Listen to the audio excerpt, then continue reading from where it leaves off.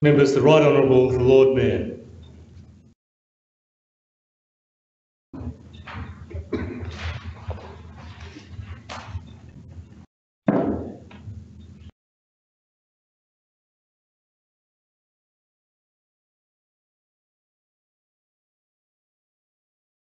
City of Adelaide Council meeting on Tuesday, the 22nd of October 2019. The Lord Mayor is in the chair. This council meeting will be streamed live and recorded for publishing to the internet. Please note that an audio and visual recording is being taken of this meeting.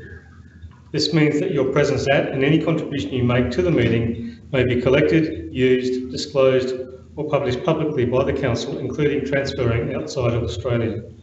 The red light to my right indicates that the meeting is being filmed and streamed. Council acknowledges that we're meeting on the traditional country of the Kaurna people of the Adelaide Plains and pays respects to elders past and present. We recognise and respect their cultural heritage, beliefs and relationship with the land and acknowledge that they are of continuing importance to the Kaurna people living today. We also extend that respect to other Aboriginal language groups and other First Nations who may be with us today. Council acknowledges the vision of Colonel William Light in determining the site for Adelaide and the design of the city with its six squares and surrounding belt of continuous parklands, which is recognised on the National Heritage List as one of the greatest examples of Australia's planning heritage. Let us pray. Almighty God, we ask your blessing upon the works of the City of Adelaide. Direct and prosper its deliberations to the advancement of your glory and the true welfare of the people of this city. Amen. Will all present stand in silence in memory of those who gave their lives in defence of their country at sea, on land and in the air?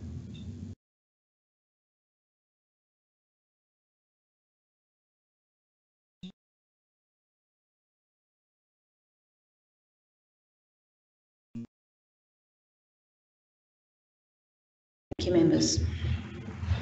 Please be seated.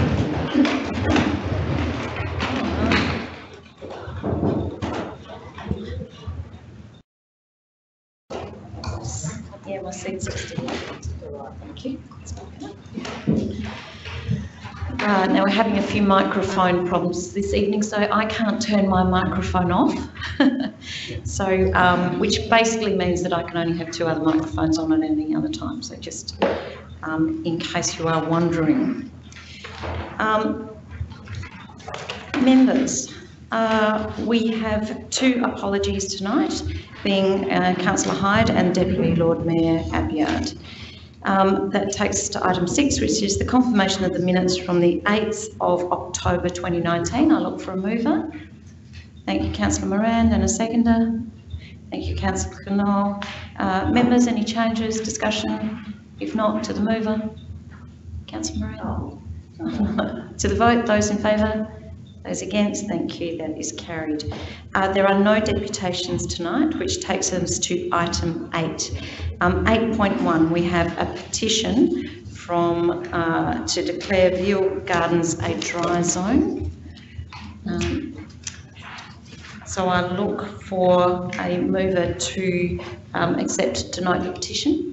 Thank you, Councillor Moran, and a seconder. Thank you, Councillor Couros. Um, members, those in favour? Those against? That is carried. We have a second petition tonight, and that is a petition on uh, with regards to parking in Kingston Terrace, and I look for a mover. Thank you, Councillor Hou, and a seconder, Councillor Moran. Uh, members, those in favour? Those against? Thank you. That is carried. That is accepted. Um, item nine takes us to recommendations of the committee from uh, from the 17th of that date is wrong. I was going to say it can't possibly be from last week. Um, the first recommendation is the sports lighting in Gladys Elphick Park. I look for a mover. Thank you, Councillor Knoll, and a seconder, Councillor Abrahimzadeh. Councillor Knoll, did you wish to speak to it? Councillor Abrahimzadeh? No. Members? No discussion? Questions? Back to the mover, Councillor Knoll. Members, those in favour? Those against? That is carried. Thank you. Uh, recommendation two is the assignment of lease for the tree climber. Look for a mover. Thank you, councillor Moran, and a seconder, uh, councillor Khera. Councillor Moran, did you wish to speak to it? I do not. Councillor Khera? Um, members?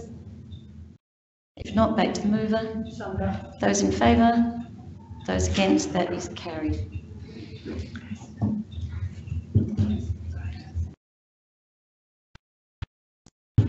Um, recommendation three is the West Franklin Stage 3, 52 to 58 Elizabeth Street, Adelaide. Um, I look for a mover. Thank you, councillor Simms, and a seconder. Councillor Moran. Councillor Simms, did you wish to speak to it? Councillor Moran? No, thank you. Members? If not, back to the mover. Thank you. Members, those in favour? Those against? That is carried. Members, recommendation four is social and affordable housing in the city. Uh, look for a mover, councillor Simms, and a seconder. Councillor uh, Donovan. Thank you, councillor Simms. Thanks, Lord Mayor. Um, just briefly, by way of background, um, members will be aware that back in February I moved for council to uh, investigate options to encourage social and affordable housing in the City of Adelaide. And um, administration came back to our committee with a report last week, which um, I thought was very comprehensive in terms of the information that was gathered, and um, I thank them for that. Um, as part of their recommendations, it was suggested that we develop a policy, but that we also undertake some scoping work um, to uh, get a sense of the different needs that exist within the city around housing. Um, and then from that, we will uh, develop a strategy as well. I think it is a really important piece of work for the city. We know that homelessness is becoming a huge issue in Adelaide. Anyone who lives in the city or spends a significant amount of time here would know that we are seeing more and more people sleeping on our city streets. I think that is a travesty and uh, we need to do what we can to help them. And uh, one way we can do that, of course, is increasing the stock of social housing and affordable housing. We know that the current targets for affordable housing are failing to deliver appropriate outcomes. And so I think it's incumbent on us as a level of government to do what we can to try and uh, facilitate that sort of development in the city. And um, so that's why I'm very supportive of this recommendation. Thank you. Councillor Donovan, did you wish to speak? Thank you. Councillor Couros. Sorry, Lord Mayor, I put forward an amendment. Members, there's an amendment on the screen and I'll look for a seconder. Thank you, councillor Abrahimzadeh. Councillor Couros, did you wish to speak to the amendment? Uh, yes, uh, do I need to read that out or everyone's quite happy to read it? Thank you, everybody. Does everybody see that? Can everybody? Okay. Uh, so uh, the, the purpose of the amendment is basically the local government's role to facilitate development of affordable housing needs to um, align and be in partnership with the state government. Um, however, this is not something that we can enforce in a pol policy position. However, we can develop that policy in conjunction with the state government until they have released theirs. Um, so the purpose of it is to um, to do this first um, without the with the position of what the state government's policy is, then we can move forward and develop ours. Um, and the uh, amendment. Thank you. Councillor Abrahimzadeh, did you wish to speak? Thank you. I have councillor Simms and councillor Moran. Thanks, Lord Mayor. I rise to speak against the um, amendment. It would have been helpful to have seen it before um, the, uh, the meeting, but I am uh, concerned about this because it removes reference to us developing a strategy, which, uh, as I understand it, is the how. You develop the policy and then the strategy is the how. How do we make it happen? Um, and so I think uh, this really does water down um, the original proposal. But also what worries me about this is it ties the piece of work being undertaken by this council to what is happening uh, with an external body.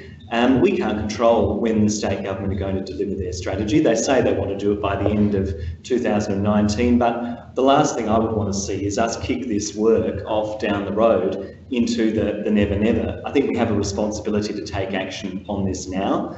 I think what administration have proposed in the original motion, getting the scoping work done, um, which means we can get some research, getting a policy position together um, and getting a, uh, comprehensive strategy together is the right way to uh, deal with this issue. It's not a huge amount of money, it's not a huge amount of staff time when one considers council's uh, contributions made to other areas, but I think it is an investment well worth making because as this city has noted, we're experiencing a crisis of homelessness. We have a responsibility to act. I think we also need to uh, increase housing stock in the city, Lord Mayor, as a way of giving a boost to local businesses.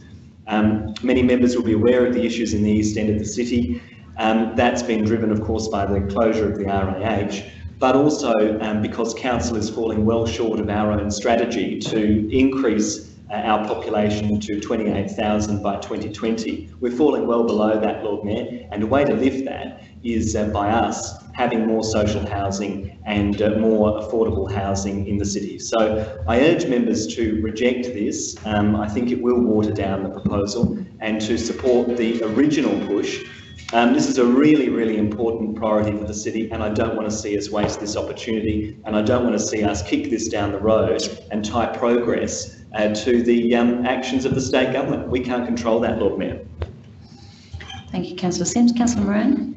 Yes, we're not the state government. We are a separate instrumentality, and also we are the capital city. So social and affordable housing is very, it's very, is, is as important to us as uh, as uh, the um, metropolitan area, possibly more. We discussed this at length in the committee and followed the Lord Mayor's recommendation that um, we retain the strategy and uh, retain the scoping.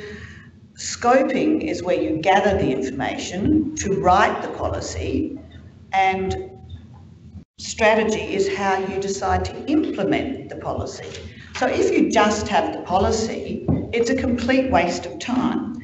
Um, I think the committee got it right. The administration totally explained to us then, and we all, except a couple of, uh, of um, people, voted to keep the, uh, keep the strategy and the scoping out.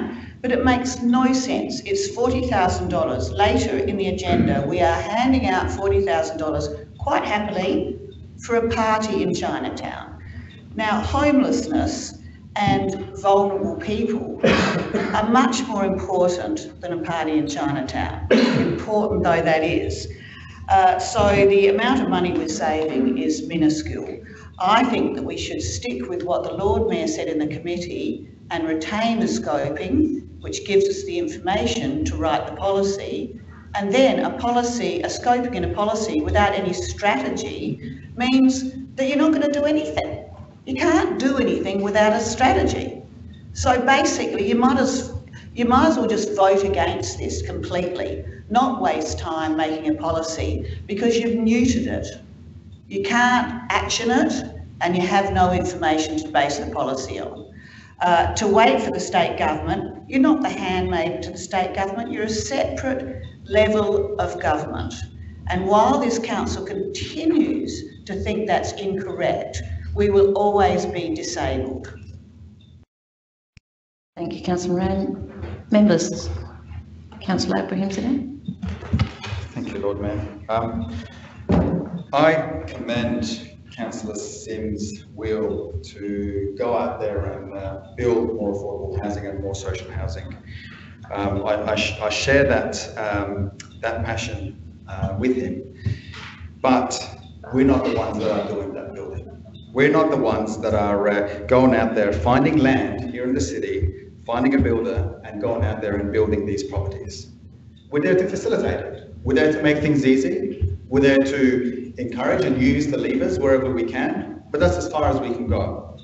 Now, since the state election last year, Lord Mayor, we had the, the state government that came out and, and said they are going to deliver uh, this strategy. Uh, there are a number of reasons behind the delivery of this strategy, whether if you want to talk about the number of public uh, uh housing, um, the, the, way it's been declining, whether if you want to talk about the, uh, the, many uh, different mental health and other social issues Uh, that affect the tenants uh, that eventually end up in social and public housing there is there's not a whole lot that, that we can do at the moment because we don't know what the state government is going to come out and propose. and we- don't. We've been told that they are going to deliver this strategy. Chances are they will deliver this strategy by the end of this year. But when they deliver the strategy, they will define in there what their role is, what the role of the community housing providers are, what the role of the private sector is, what the role of federal government is, and what the role of local government, not just us here in the city of Adelaide, but local government as a whole is. Once we have that report, we'll see what levers are at, are, are at our disposal. Then we can set a policy position, we can go out and inform a strategy, because then we'll know what levers we've got at our disposal. We know where the gaps are, and wherever we can, we'll go and fill them. So I share that with you, councillor Simms, and I commend councillor Couros for bringing this, uh, this amendment to the chamber. Thank you, councillor Abraham. Uh, councillor Martin and then councillor Donovan. Uh, Look, thank you, uh, Lord Mayor, and I thank also uh, councillor Abrahimzadeh for the the comments, and I understand that as a employee of the State Housing Authority, he has particular specialist knowledge in this area. But this council has always acted independently, and it may not be known to the councillor, but this council has been involved in the development of social and affordable housing projects and retains properties to this day. This council has been involved in the provision of rate rebates as a policy to encourage um, uh, the use of social and affordable housing. This council has always aspired to do the right thing in the community. I, I somehow feel that these days we're doing a lot of genuflecting to the state government. Uh, the government rings up and says, chop down a, a couple of hundred year old trees on Can we stick Terrace. to the and we motion, say, please, councillor Martin? Oh, I beg your pardon, Lord Mayor. I, I, there's a common thread running through it. What I'm trying to emphasise is that every time there seems to be a policy uh, vacuum, we defer to the state government. Why can't we have our own particular view? Now, Lord Mayor, and you may be able to answer this for me as a member of the uh, Capital City Council of Lord Mayors, how many other capital cities have policies on social and affordable housing? I can't actually answer that directly. Sorry, councillor. I'll take that on advice. Sydney? Melbourne? Oh, no, Sydney has one. Mm, Brisbane? They all do. Yeah, most of them do. And it's an extraordinary thing that we should be declaring this policy vacuum pending a decision by the state government. Now, look, I, I attended today, and I didn't see uh, any of my uh, colleagues there. I attended today the annual general meeting of Shelter SA, which is the combined organisation for all housing groups, community housing groups within uh, uh, South Australia. And I've got to tell you, Lord Mayor, uh, as I was speaking with delegates there, they were just flabbergasted that this council, these councillors, are proposing to abrogate our responsibility within the area of social and affordable housing, deferring to the state government, not having a policy until after the government determines uh, what it is it wants to do.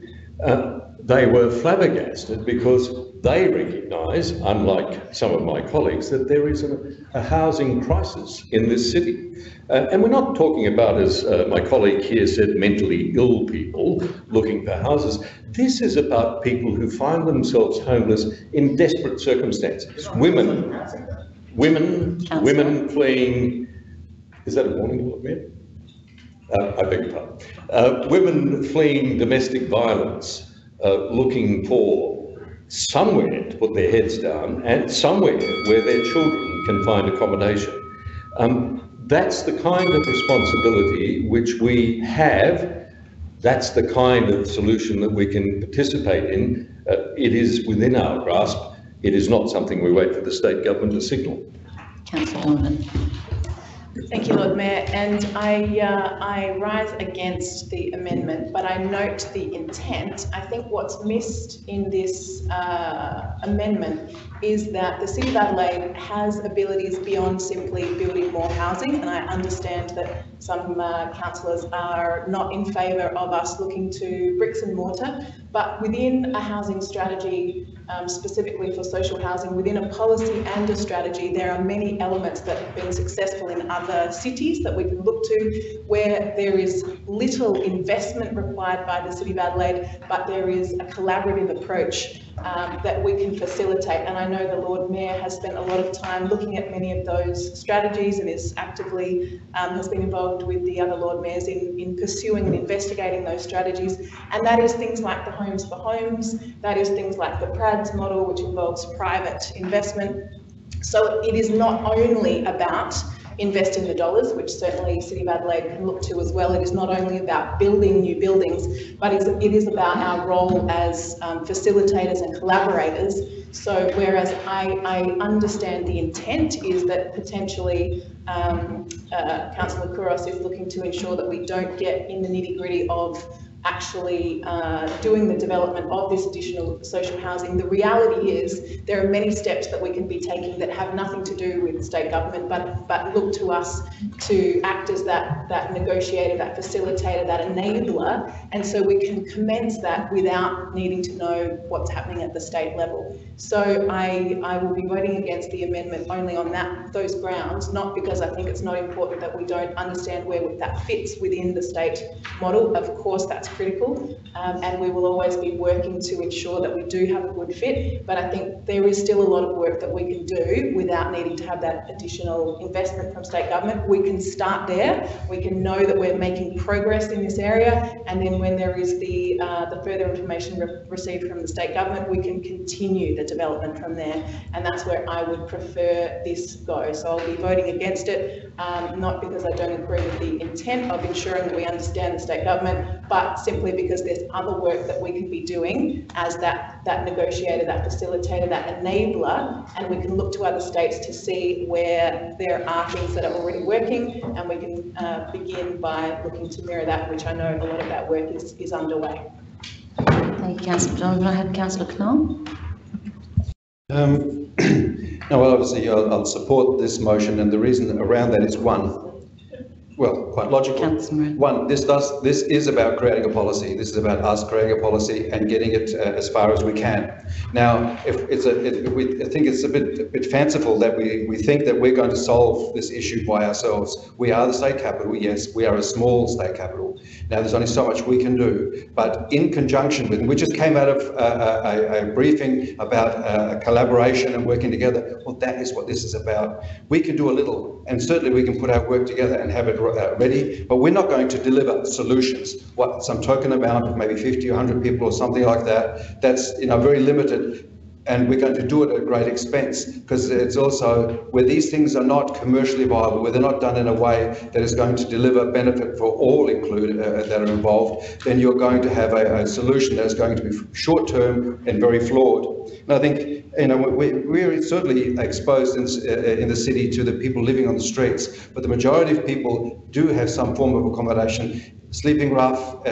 is a small component of it. We do know that there are a lot of people who are couch surfing, things like that. They are, they are, they're not here in the city either. They're around the, in the suburbs. That is why we need to look further than just ourselves, because we're not an island. We are a facilitator. We are a leader, and we need to do that. But we do that in conjunction with uh, the other um, instrumentalities, so that we are delivering a more complete solution. Because all the time we're going out by ourselves. Is that leading others? Is that encouraging other uh, jurisdictions and that to take on these things as well? And I think, uh, and the state government has a big part to play in it because they do have the, those organisations already in place. I was fortunate enough last week to be at City Chats where we were talking about social and affordable housing, and it was really enlightening to have uh, you know the, the major people there, and it really uh, sort of showed how and ideas on how you do that in the various business models. Now we can't uh, we can't do that by ourselves. These business models you bring together. So I think if we do this with the community housing and all those sorts of other opportunities, and you bring those varieties of opportunities together, then you are going to start to create real solutions. And that so hence. Yes, we do our, our policy and that's what we're doing. But the outside of that, we then we collaborate and work with the other people that are involved from state governments, other councils, so that we are going to have a citywide. Because again, uh, we can only do a certain amount, and within our city, where every uh, for every dollar you spend in some other uh, suburb, we will have to spend three here. And you know there may be some forms of solution we can have here, but it's certainly going to be very limited and very expensive way to do that. And I think we should be a little bit more um, you know inclusive with all the others because again uh, we're not a big city like that, and it's important. And uh, and we did also talk about silos and things like that. Well We are part of a bigger solution, and, and South Australia doesn't need that. And it's not just here in, in Adelaide; it is it is in the the regions as well. So again, we could be a leader, a, a thought leader. And I think I'll leave it at that. Thank you, members. If not, I'll go back to councillor Couros to sum up. Oh, exactly as uh, um, councillor Knoll said, this is not saying, this- this amendment is not saying no to the policy. What we're basically saying is that let's wait until the, the government delivers their policy, which I believe the consultation is now closed, and they will have it delivered by the end of 2019, which is only a couple of months away. Basically, what, what we're saying here is that um, with what they, exactly what um, uh, Councillor Abrahimzadeh said, that once they have delivered their policy, we can align ourselves with what they're delivering and what we can do. I just think that if we just jump in right now um, and work on, on it right now, it could be a waste. Um, we could have, we could end up going in a completely different direction based on what this report is. So I'd rather wait for that. Going back to um, being a separate level of government, yes, we are a separate level of government. We're answerable to our ratepayers. Um, and as pointed out, we've got approximately 80% of our ratepayers are businesses, hence why we invested to our community only $10,000 to the, not 40, 10, to the, to the Chinese community uh, that operate outside of Gouger Street. So we are looking after our businesses and we will be looking after our, uh, accommodating the vulnerable in, within our city and that is our aim. We are not looking at you know, disrespecting them or disregarding them in any way. All I'm just basically saying is let's just wait. Members, uh, we'll go to the vote. Those in favour of the amendment? Those against? That is carried. Those members voting in favour of the amendment, please rise. Councillor Abrahimzadeh, Councillor Knoll, Councillor Hou, Councillor Khera and Councillor Couros. Carried. Um, I'll go back to the motion to sum up. Thank you, councillor Simms. Thanks, Lord Mayor. Look, I- I'm disappointed um, about uh, that outcome. Um, I think as a city council, we shouldn't be afraid to deal with big picture issues like homelessness, like housing. I mean, there is a risk that we can be seen as the Seinfeld Council that talks a lot about nothing um, and lacks the big picture vision to talk about some of these issues. So we shouldn't be afraid of that. But, um, Lord Mayor, I will uh, support um, this uh, motion in its uh, amended form because I recognise that getting a uh, policy in place on social and affordable housing, albeit um, tied to the state government's progress, is better than nothing at all. So um, on that basis, I will support this. But I do urge um, my colleagues to be a little bit bolder, a little bit braver um, in future because uh, this is something that the community wants us to show leadership on. Uh, thank you, members. We'll go to the vote. Those in favour? Those against? That is carried. Members, that takes us to recommendation five of the committee, which is the Adelaide Parklands Building Design Guidelines. And look for a mover, councillor Martin, and a seconder, councillor Donovan. Councillor Martin? No, councillor Donovan? Only to say, once again, thank you to administration for all the work that they've done with this and also in, uh, in taking on board feedback from councillors. Um, thank you for that work. Members? If not, back to the mover. Thank you, members. Those in favour? Those against? That is carried. Uh, next, we have recommendation six, Chinatown Lunar New Year Street Party. Councillor Hou, and a seconder, Councillor Knoll. Councillor Hou, did you wish to speak to this? Councillor Knoll? Members? Not, back to the mover to sum up. Thank you. Members to the vote, those in favour? Those against? That is carried. Members, that takes us to uh, recommendation number seven. Now, which is the LGA Annual General Meeting papers. I look for a mover. Thank you, councillor Simms, and a seconder, councillor Moran. Councillor Simms, did you wish to speak to it? No, thank you. Councillor Simms, oh, sorry, councillor Moran? Members? If not, to the move to summer? Uh, to the vote, those in favour? Those against? That is carried. Uh, members, there was a late distribution uh, for item 9.2, which is the advice of the Audit Committee from the 22nd of October. And I will look for a move. Thank you, Councillor Martin, and a seconder. Thank you, Councillor Knoll. Councillor Martin, did you wish to speak to it? Councillor Knoll? Members? No, if not, back to the mover. Members, those in favour? Those against? That is carried. Item 10 on the agenda is the uh, Lord Mayor's report. So, good evening. Um, Since my last update, I attended the Hutt Street Traders AGM, the celebration of the 70th anniversary founding of the People's Republic of China, the opening day for the 2019-2020 Adelaide Bowling Club Bowl season, the State Theatre Company Season 2020 opening launch, the Catherine House Gala Dinner and Ride to Work Day. Um, along with several other members, I attended a Kaurna language session with Jack Buckskin. I gave the opening address at Main Street's SA conference and for the Samstag Museum of Art Oz Asia exhibition and also took part in the uh, official Vogue Festival launch in Rundle Mall. Um, a few weeks ago, I attended the Capital City Council of Lord Mayors AGM in Melbourne, where I also attended the Homelessness Summit and undertook a tour of an impressive new integrated services and accommodation facility run by St Vincent de Paul's, uh, de Paul Society. Um, yesterday, I was happy to open the Health and Housing Expo hosted by the City of Adelaide at the Adelaide Town Hall in conjunction with Shelter SA.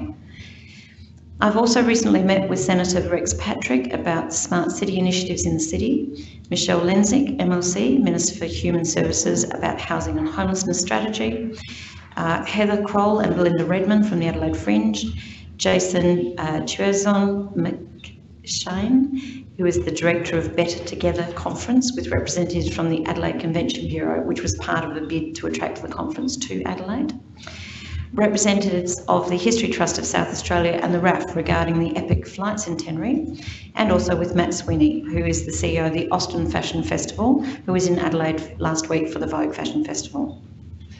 We had several Lord Mayoral receptions, including one to celebrate the Adelaide Town Hall and the ASO being inducted into the South Australian Music Hall of Fame. Also to mark Active Ageing Week 2019 uh, also for the Australian American Association Conference being held in Adelaide and to mark 30 years of Chinatown Adelaide. We also celebrated the 2019 Bridgestone World Solar Challenge finish and I thank you to the councillors for emceeing and attending those events. Um, it was also a great pleasure to host a morning tea to welcome the artists of Tarnanthi, which is the festival of contemporary Aboriginal and Torres Strait Islander art, which is currently underway uh, with the Art Gallery of South Australia and in the City of Adelaide, and also attended the opening of the Oz Asia Festival. It's been a busy few weeks. Um, we hosted a lunch in the Queen Adelaide Room uh, with our city's key stakeholders, uh, which was an opportunity to have their input into our new strategic plan. And the Office of the Lord Mayor recently also coordinated another fabulous um, Town Hall Open Day, revamping the program with more displays, demonstrations and entertainment, and we saw more than 1,700 people visit over the course of five hours on Sunday. Finally, the City of Adelaide was recently recognised at the Australian Institute of Landscape Architects National Awards, where the North South City Bikeway project won the Award of Excellence in the infrastructure category. The project delivery team, Alec Whittam, Chris Ledging and Steph Rogers were instrumental to the success of this project and will now present the award to Council. If I can ask you to come forward.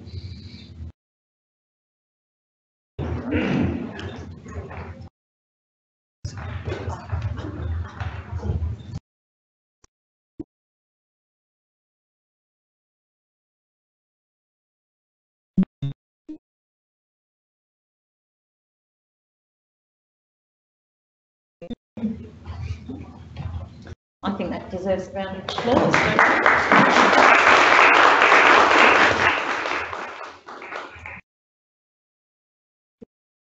Ah, don't you? Well, it is. Well, it is, it's a glass brick.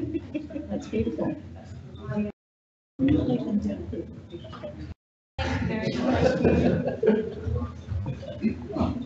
very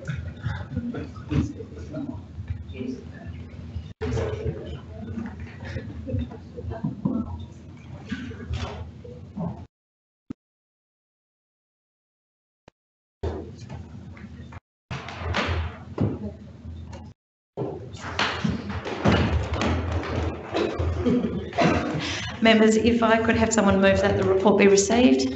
Thank you, councillor Abrahimzadeh. Uh, members to the vote, those in favour? Thank you.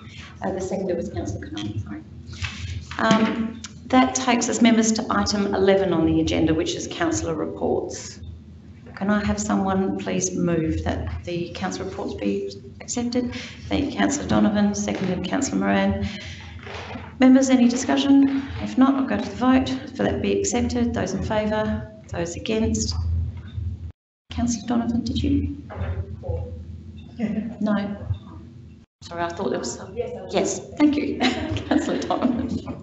Thank you, Lord Mayor. Um, a couple of things. I had the opportunity to attend the IES Awards, the Illuminating Engineering Society Awards, and the City of Adelaide was the recipient of another award. I'm not sure if you're going to get to receive that tonight or not. I'll just glance, perhaps.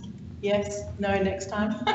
um, so you'll have another opportunity to, to receive that award, but we were one of the few recipients of an award of excellence, and that was for the illumination of Topham Mall. So the uh, the design work there, which is of course the beautiful and innovative lantern as well as the elegant other lighting through Topham Mall. So that was very exciting for the City of Adelaide to receive that, and you will receive that, I believe, at the next council meeting. Um, I also had the opportunity to attend the Women in Sport breakfast, and one thing of note uh, for this council chamber was one of the themes that was emphasised was the need for uh, infrastructure to really enable further participation for women in sport, which is something that we certainly support within this chamber, but something for us all to keep in mind um, as further opportunities to come up for things like female change rooms and the like to ensure that there is the possibility for, for women to participate equally uh, in all sport um, as those opportunities arise for us.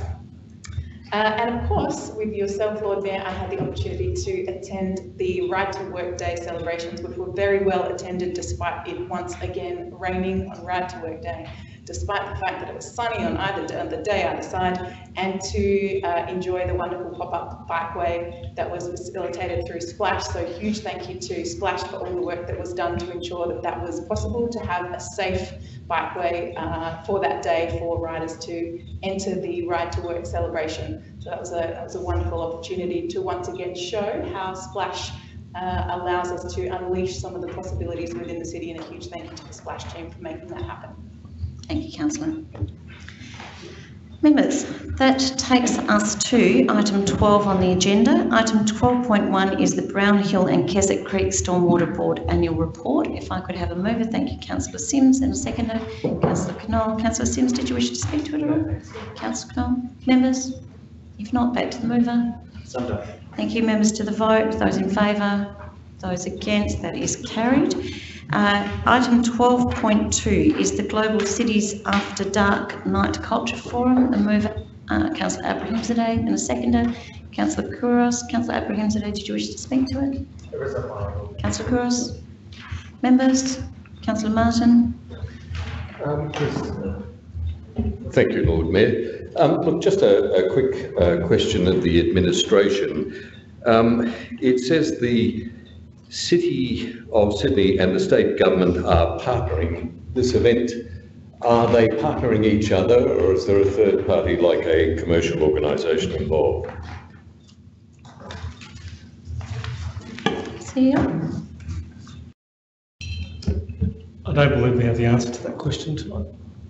Okay. Um, it is usual for the administration when these uh, requests come forward uh, to provide a costing such travel, uh, but there's no cost in this one. I- Is there a problem with that? Is there an attendance fee or something?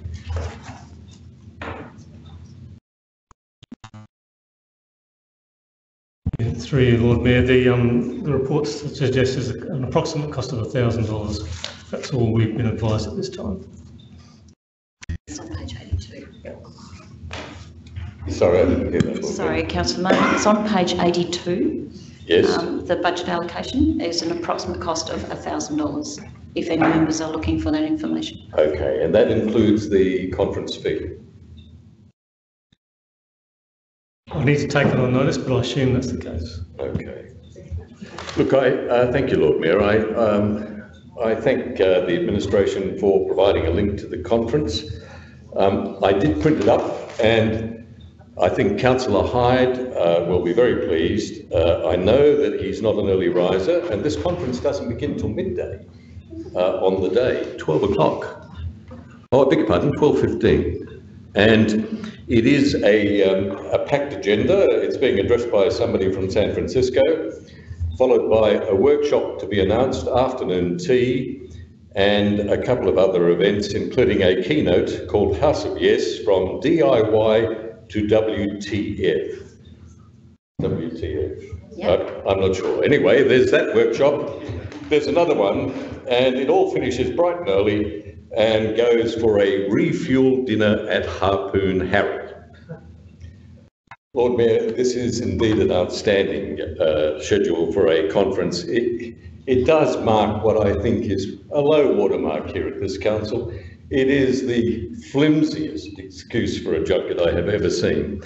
Um, I won't support this. Uh, I think it's just extraordinary that the councillor who's in here bashing on every week about cost efficiencies, about saving money, about reducing costs, is lined up the biggest junket I have seen in years. A conference that begins at midday, half of which has no agenda and which includes such keynote addresses as House of Yes from DIY to WTF. I would ask uh, Councillor Hyde why he's going to this conference, why he's imposing this cost on the ratepayers, but he's not here. And I do hope the administration can assure me he's not on a junket somewhere. Councillor, Councillor Moran. Yes, I too will oppose this. Um, we haven't seen councillor Hyde for some time and yet he's asking for a trip almost immediately when he gets back. The, the, this is not a, um, a, a conference that God knows he needs some help, but uh, he'd be better to stick around here and learn the ropes here. Um, he's a South Ward councillor. If in any way he was a, an area councillor or a Central Ward councillor, where the night culture is important to the city, I would have a different view. But this is a very flimsy conference. He is not, he's a residential, in a residential ward. Uh, he hasn't been seen for many weeks. I suggest that the young man stay here and knuckle down and not flit off to Sydney. Councillor Couros.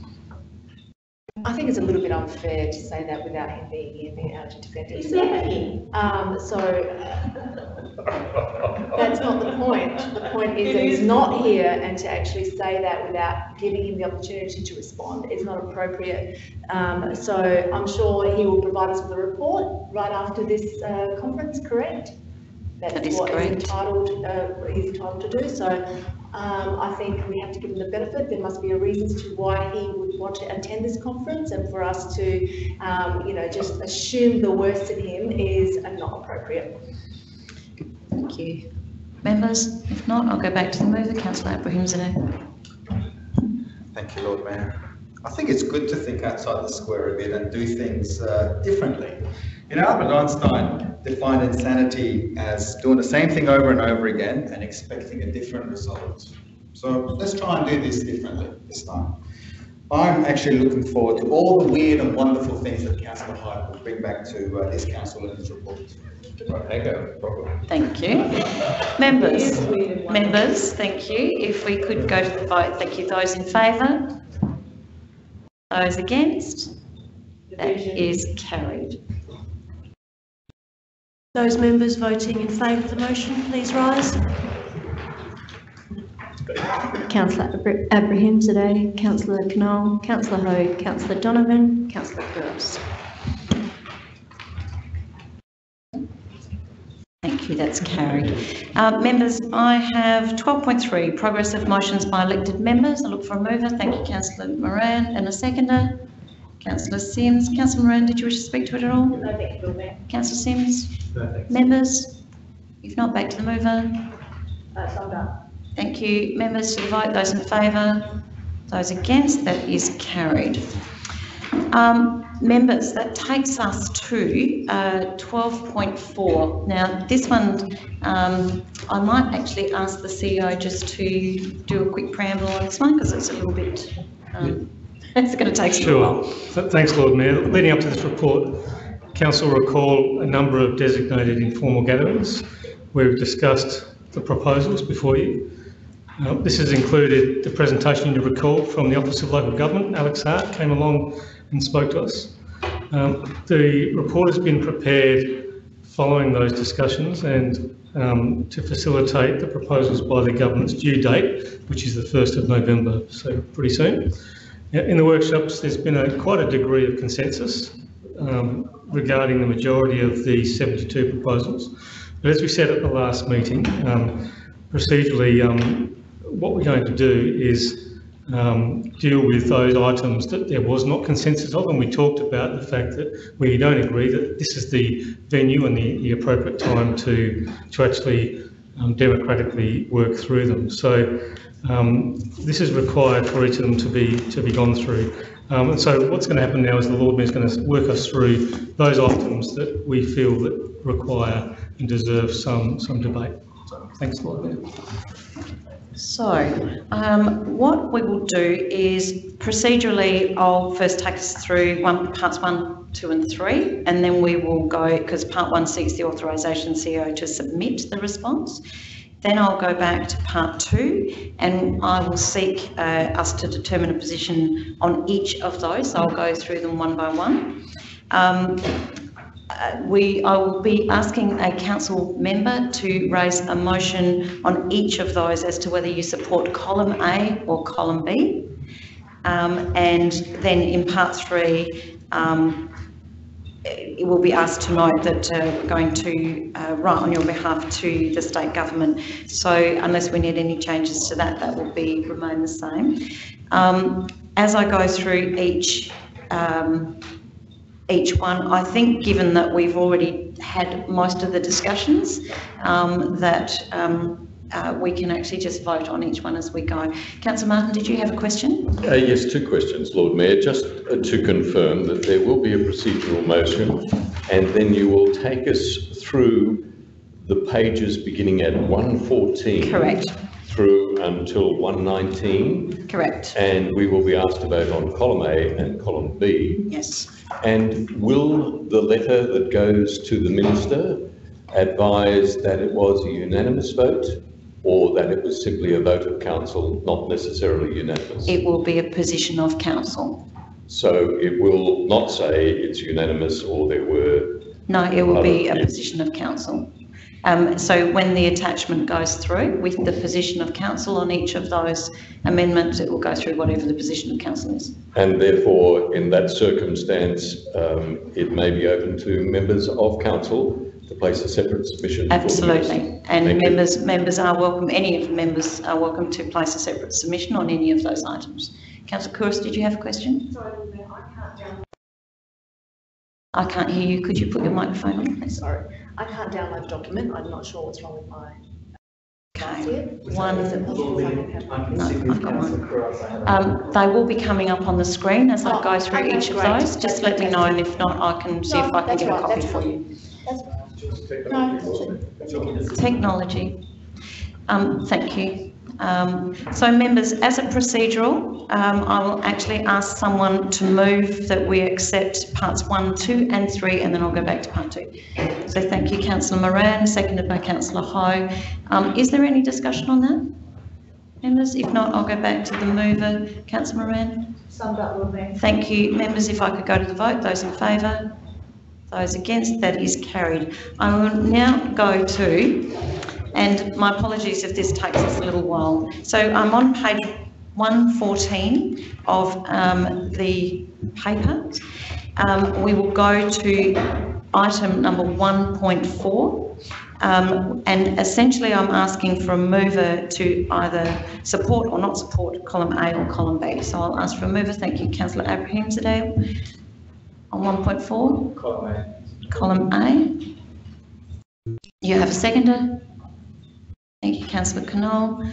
Um, members, so if we're happy with that, so we are looking at, so column A, which says we support the LG reform proposal in 1.4. So I will go to the vote. Those in favour?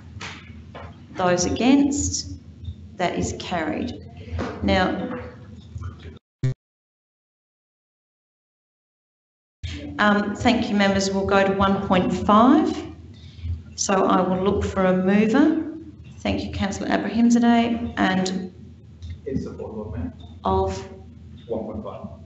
of, of column A or column B? Oh, sorry, column A, yes. Column A. Do I have a seconder? Councillor Knoll. Uh, members, I will ask you to vote in support or, And you said there's no opportunity to register. Can we call, call it a? you, you can, you can call a division, councillor? Sure.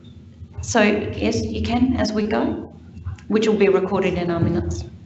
So, um, so I have a mover and a seconder for, uh, in support of column A. Uh, members, if I can go to the vote, thank you. Those in favour? Those against? That is carried. A division has been called.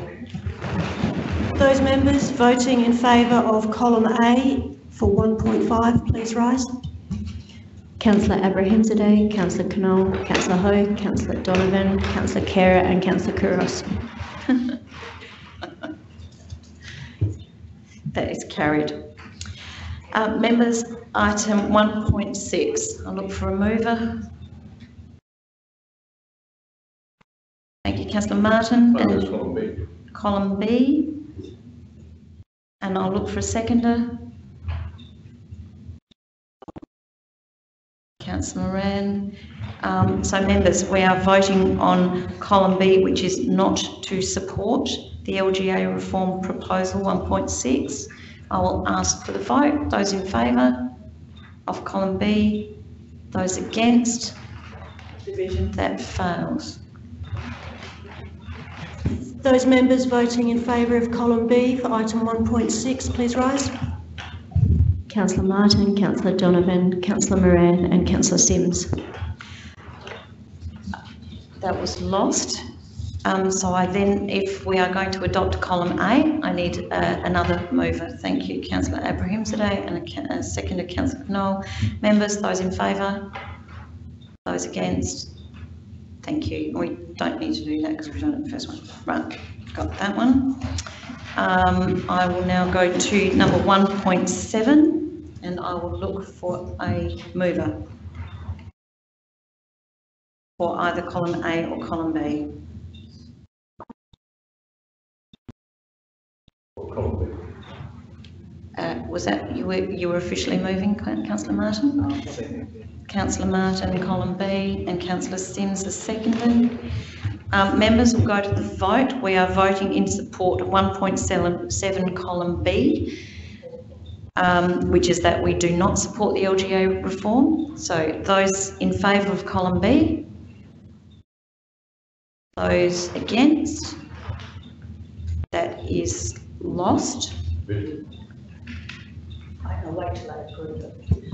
Those members voting in favour of column B to item 1.7, please rise. Councillor Martin, Councillor Donovan, Councillor Moran and Councillor Simms. That is lost. Um, I will now ask for a mover for the alternate, which is column A. Oh. Uh, thank you, councillor Knoll, and a seconder, councillor Abrahimzadeh. Uh, members, I'll ask you to go to the vote. This is for, in support of column A of 1.7. Those in favour? Those against? That is lost. Uh, that is carried. My, my apologies, that is carried. Um, I now go to item 1.13, uh, and I will look for a mover. I've got councillor Martin. Which one are you moving, councillor Martin? Column. A. Thank you, and a seconder, councillor Abrahimzadeh. Members, those in favour? Those against? I could call a division on that one, but I won't. Um, that is carried. Um, we now go to 1.13 Part A. Um, I will look for a mover, councillor Martin. Column A. Column Uh, and a seconder, thank you, councillor Moran. Um, members, those in favour, we're voting in support of column A for 1.13A. Those in favour? Those against? That is carried.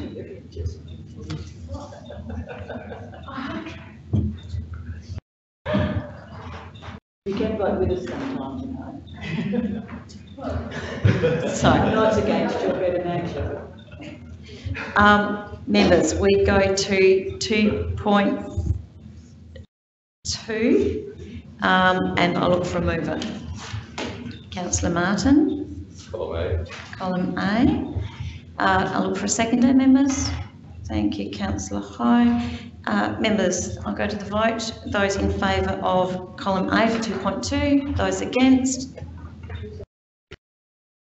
I just, I'm just looking for a vote. Councillor Couros, councillor Khera. 2.2, we're voting in favour of column A, which is supporting the LGA reform proposal. In favour? Yeah. Okay, I guess that is carried. Um, 2.3, I look for a motion. Thank you, councillor Martin. Column A. Column A, and I'll look for a seconder. Councillor Hou. Uh, members to the vote, those in favour? Those against? Councillor Khera, are you voting on that one? In favour, that is carried. Um, members 2.6. Um, oh, thank you, councillor Martin. What would you like to move? Column A, and I look for a seconder, councillor Simms. Members, we're voting for 2.6 in support of column A, which is supporting the LGA reform proposal. I'll ask for a vote. Those in favour? Those against? That is carried. Um, 2.7, councillor Martin. Column Column A and a seconder. Councillor Simms. Members, we're voting for 2.7 column A, which is supporting the LGA reform proposal. Those in favour? Those against? That is carried. Uh, 2.12. I'll look for a mover. Thank you, councillor Martin. Which would you like to move? Column B. Column B. I'll look for a seconder. Councillor Abrahimzadeh.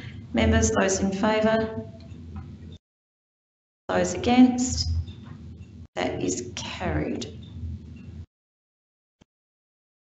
That's great, thank you. Um, members, 3.4. I will look for a motion. Thank you, councillor Martin. Column A. Column A. Uh, members, so 3.4, we are voting in support. Oh, I'll look for a second. Sorry. Thank you, councillor Simms. Uh, to the vote. Those in favour? Those against? That's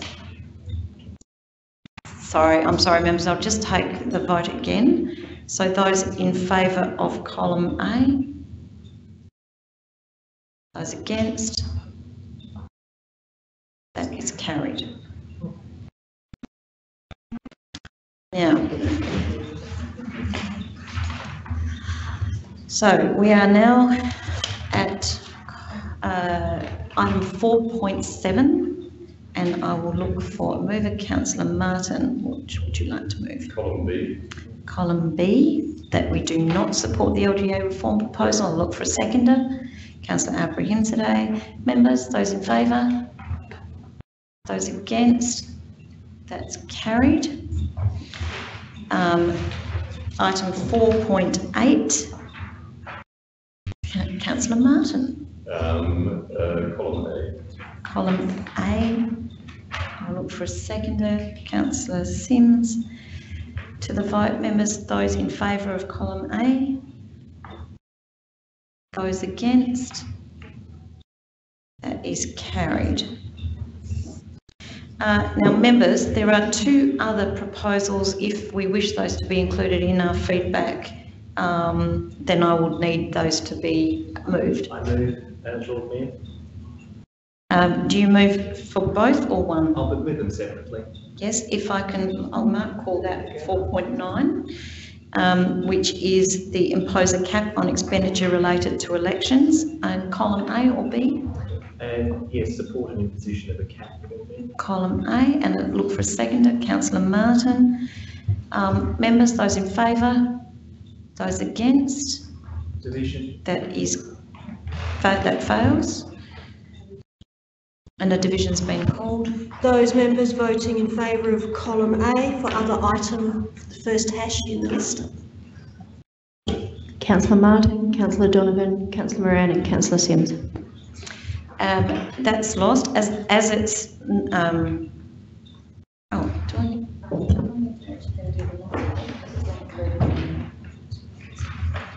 Uh, Members, if we have a position, I'm not sure whether we need to vote that we don't support it, um, because it's, it's lost, so we're good with that. And so the next one I'll call four point two, which is increase requirements for disclosure of donations before elections. Uh, councillor Simms, what would you like to move? I move that we support increased requirements for disclosure of donations before elections. So column A and councillor Abrahimzadeh as a seconder. Members, those in favour? Those against? That is carried. Um, so that will be included. That is excellent. Um,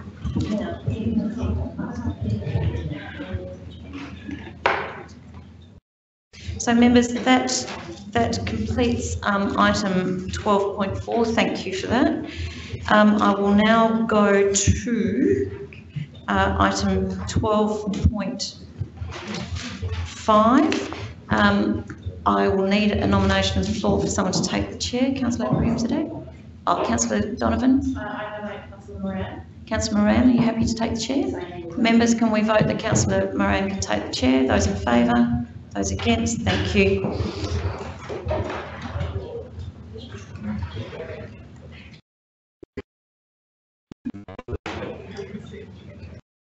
Uh, Members, I'm vacating the chair because I'm declaring a conflict of interest because I have a, a material conflict with this item.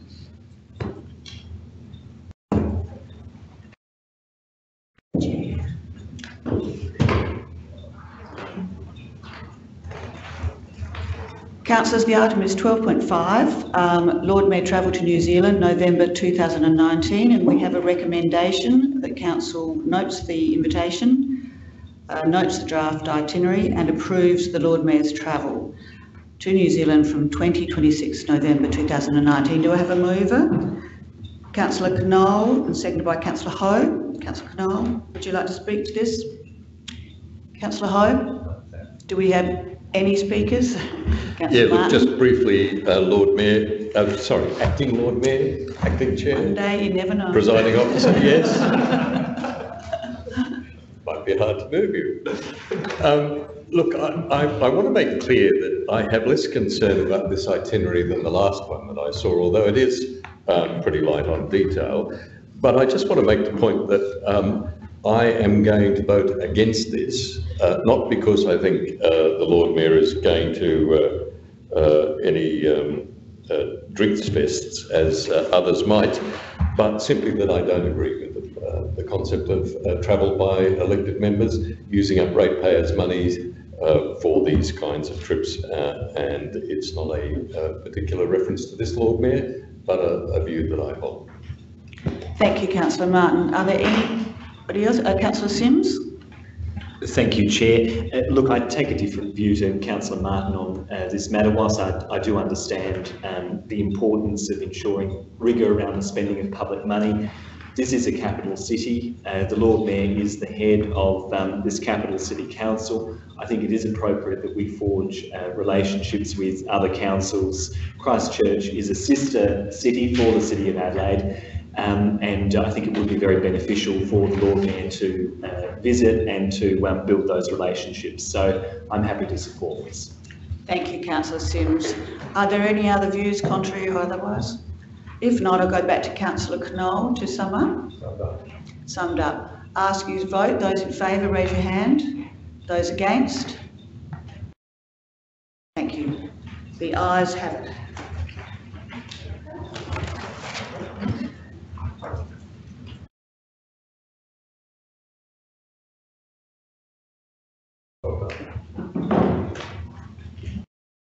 Thank you, councillor Moran. The heaviness of this chair.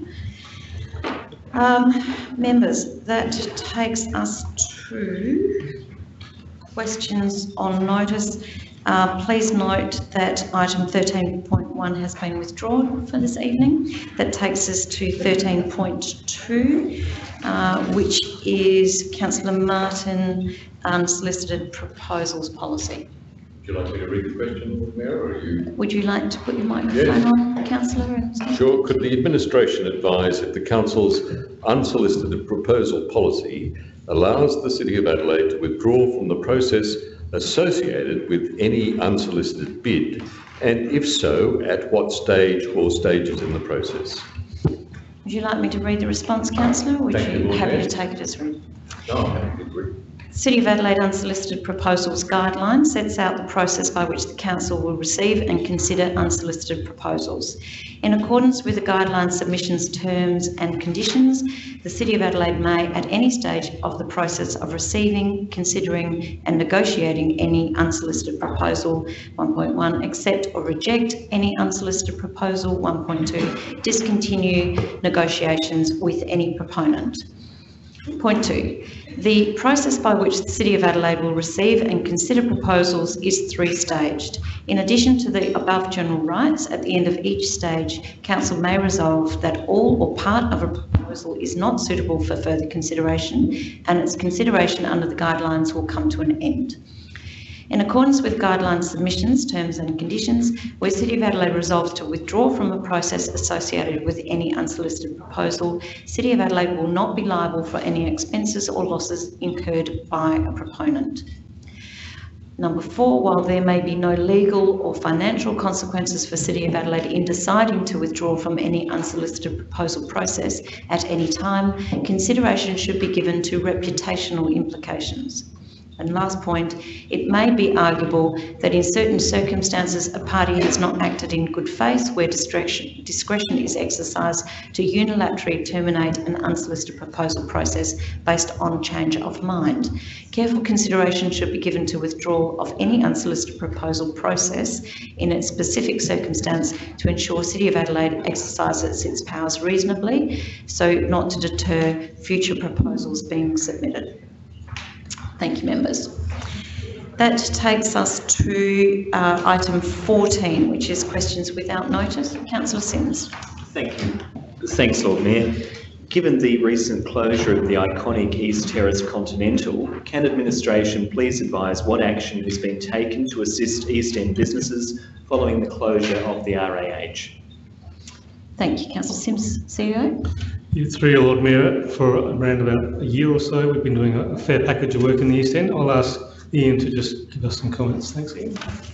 Thank you. Just back through the chair. Uh, I think we're all disappointed around the East uh, Continental. Uh, it's an iconic cafe that we all know well. And obviously, with 5,000 less foot traffic going past your door, is always going to be a challenging environment for them as operators, despite the forewarning and knowledge of the change. And on top of that, changes around the O-Bahn and light rail.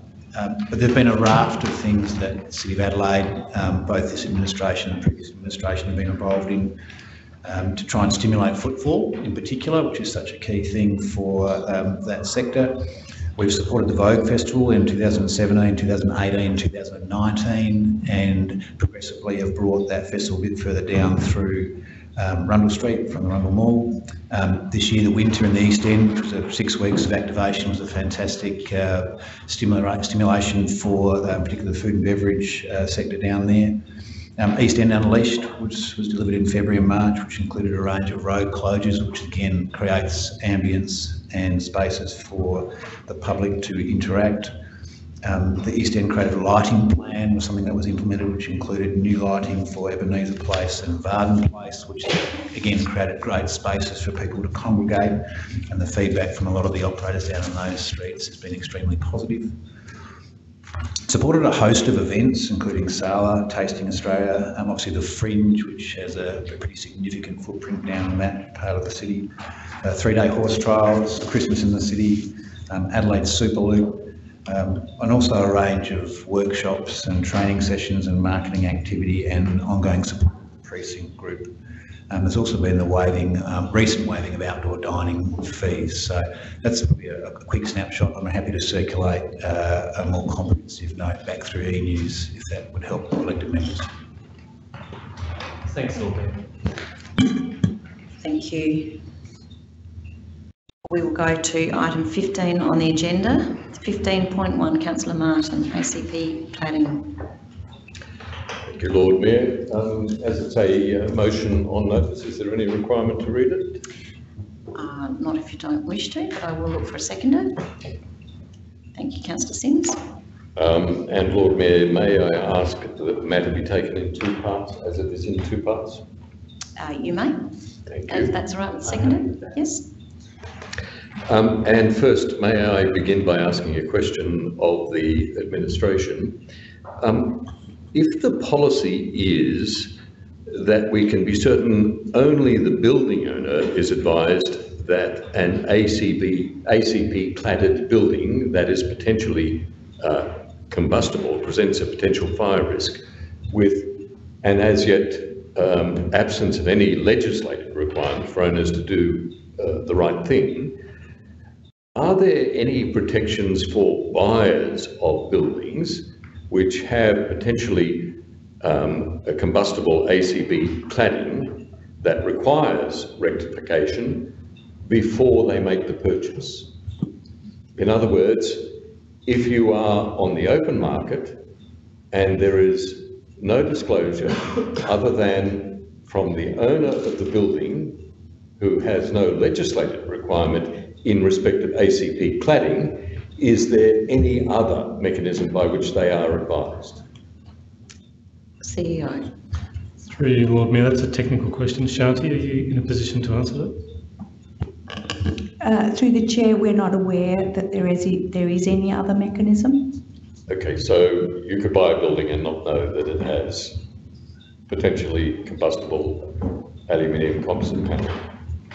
Uh, through the chair, the process that uh, DPTI has uh, required councils, not just the City of Adelaide, but other councils with ACP cladding uh, on their buildings, is to notify the building owner, not the potential building owner. Thank you, thank you. Uh, look, I just wanted that clarified. Um, I just want to say this is a, a pretty sorry affair, uh, Lord Mayor. Um, there is no transparency around this. Um, and when I asked for transparency, the, uh, the Minister, Minister Knoll, uh, called me reckless. Um, and I'm hoping this isn't a familiar view. I did have a smile earlier this evening, um, but um, uh, it uh, it isn't my view, as it is the minister's, that uh, terrorists and arsonists are waiting for the addresses of buildings so that they can ignite them. Um, I'm sure there are other targets that are much more flammable in this city. Um, the problem here is that we have a state government which has public buildings and private residences, and I know that because I've spoken to strata managers in the last week who are aware of state government-owned private residences which are affected by combustible ACP cladding. And they're creating secrecy around those sites and saying to local government, um, well, we'll look after those, but you fix the rest. You fix all of the, the buildings uh, throughout the City of Adelaide. Uh, and I mean the broader City of Adelaide, not the local government area City of Adelaide. Um, let me deal first with the secrecy because it doesn't aid anyone. Um, uh, if you have a look at the documents that I circulated earlier today from the Insurance Council of Australia, the body which says uh, whether or not you are covered by insurance, it makes clear in their strategy, um, uh, which relies on the Engineers Australia guidelines, that uh, everybody, stakeholders, including clients entering a building. You'll see that at page six, um, including where there are offices and tenants that people are consulted, not only about the ACP, but about fire evacuation plans and about plans for rectification. That's the policy. It's clear in the document. Um, it wants complete transparency. Um, it also makes clear that there should be a level of awareness um, among those passing around the potential fire traps. Uh, the document refers to the risk to neighbouring buildings uh, and uh, for people passing beneath buildings with ACP, which is potentially flammable because there's a risk of injury or fire or death even from what happens when this material uh, uh, becomes uh, alight, and that is that it falls off the sides of buildings as it did at the Grenfell Towers. Um, now, I just don't understand how excluding people from that knowledge, keeping the community in the dark, actually aids anyone. May I have another minute, Lord Mayor? Members? Yes, thank you. Thank you.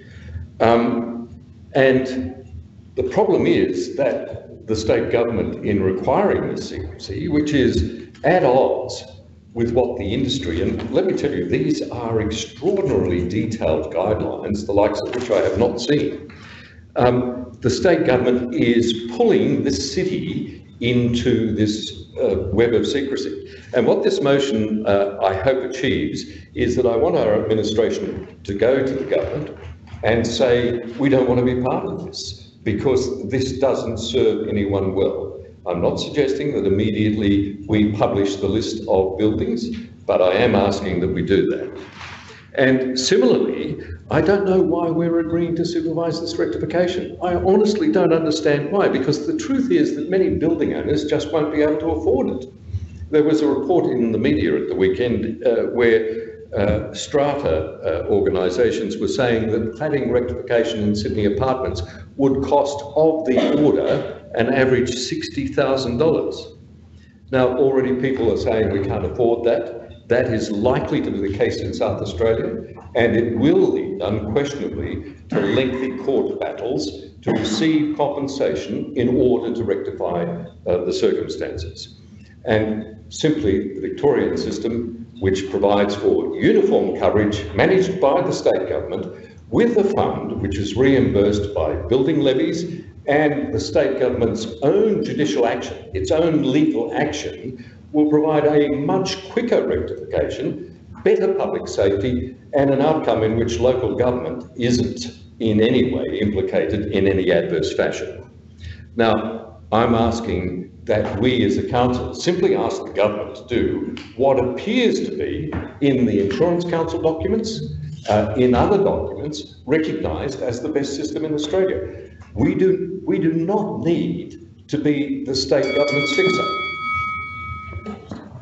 Thank you. I'll just, uh, before I go to Councillor Simms, I'll just ask the CEO. Through Lord Mayor, I'd just like to clarify, Councillor Martin. So item one is you are asking the administration to publicly release immediately the documentation. That's to be clear.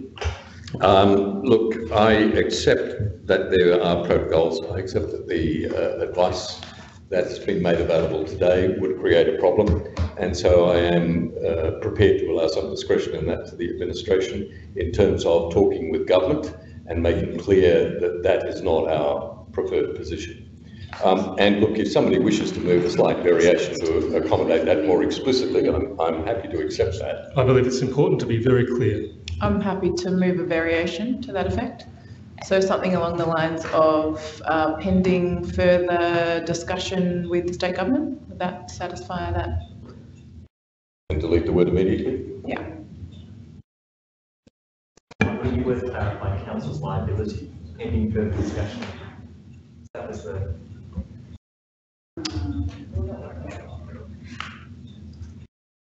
Um, Councillor Donovan. Um,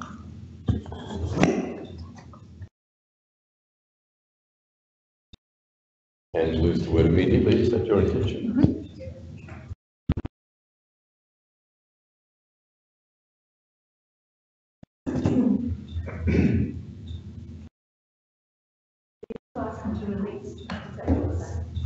I, I well, I, do you wish me to speak to this, or should the uh, person asking for the variation speak to it? Just accept the variation. I'm happy to accept, accept the variation. variation, and the seconder can accept the variation. Through, through Lord Mayor, could we just um, Sorry, clarify sorry. and um, take some advice, yep. just to help? One Just- Yeah, sure. So just take a few moments if we can.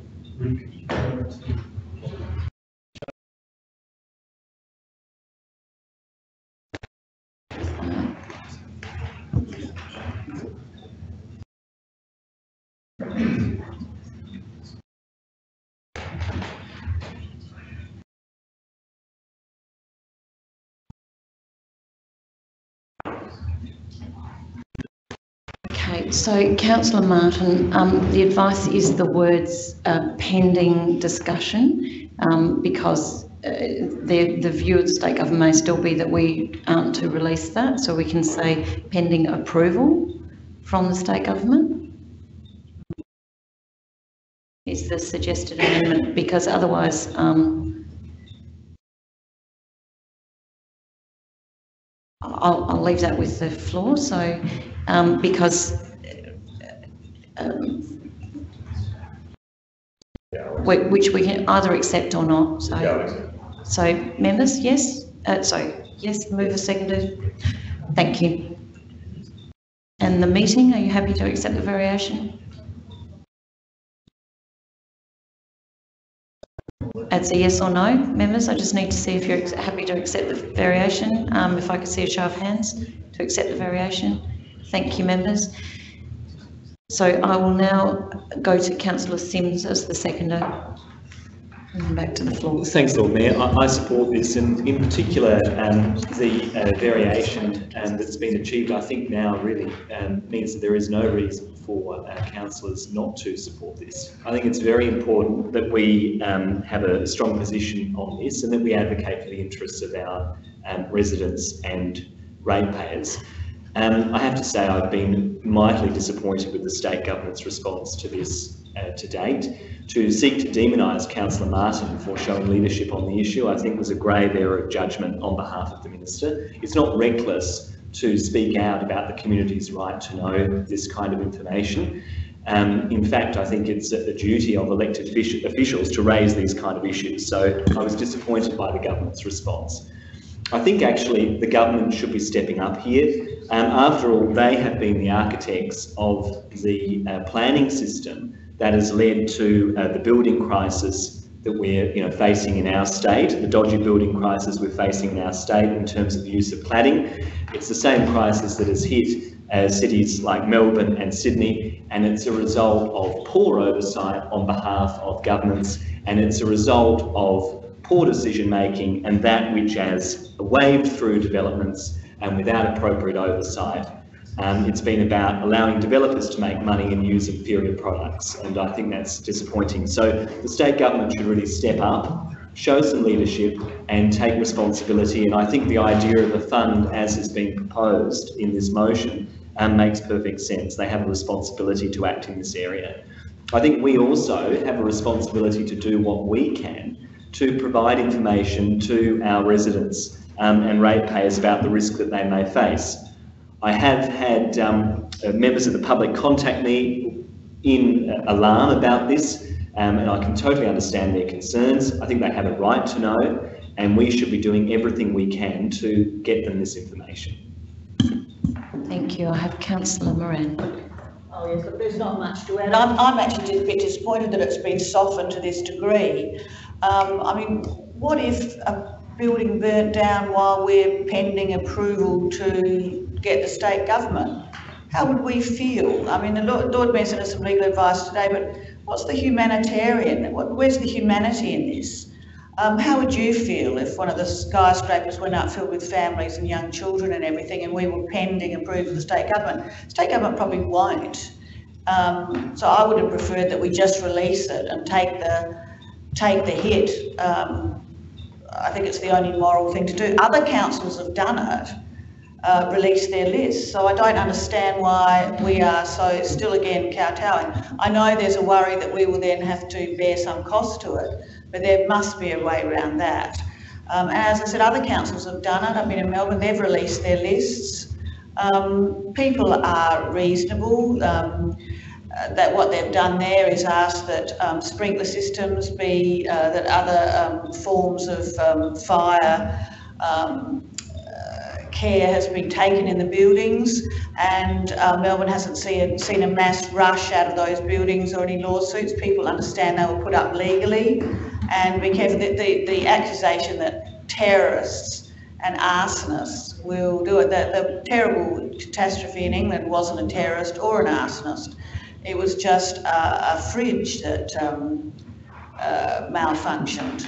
So I, I can't carry the guilt and the possibility of the awful tragedy of it happening in the years that the state government drag its feet to work out how they can get away with not paying too much money. And, and let's face it, the Property Council will not be keen on these lists going out. They will be telling the government, we need time, we need this. We shouldn't be kowtowing to the building owners. We should be looking after the people living in the buildings. And I'm sick of us being a branch of the Property Council. We should go stronger than this. I will vote for this, but I'm disappointed it's been weakened so much. Uh, Councillor Couros. Thank you, Lord Mayor. I just uh, want to clarify that we're talking about releasing the, um, releasing it publicly once the state government has released it to us.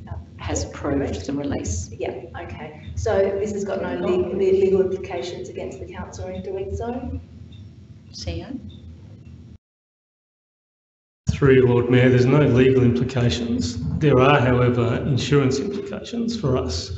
And the mutual liability scheme today has written to us and has written to all councils throughout South Australia, um, confirming that should in fact the council release a list of those buildings, uh, we would mm, potentially put in, in um, jeopardy our insurance cover.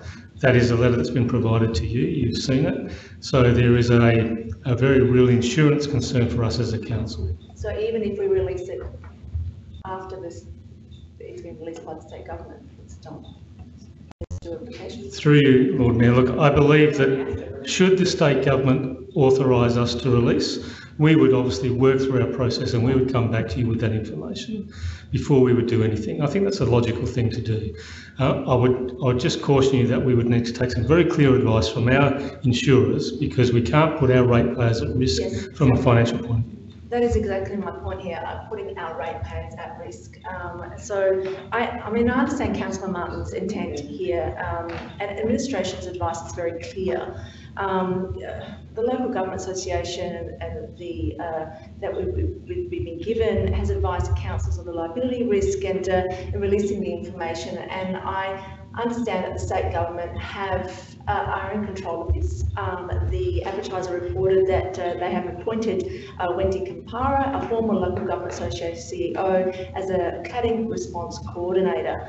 Um, it is her job to ensure that the building um, owners fulfil their legal and moral obligations to notify the tenants and occupants.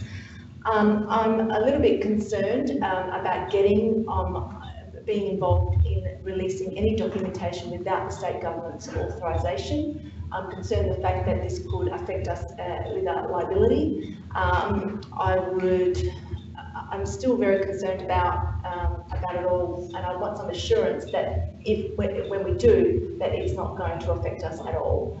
Um, because we have got our ratepayers to consider, um, although, you know, I know that the state government are working, working closely with landlords, with, with owners of properties, tenants, and, uh, and uh, uh, strata companies. Um, I rather would leave that in their court for them to sort out rather than being a liability for us exposing any information.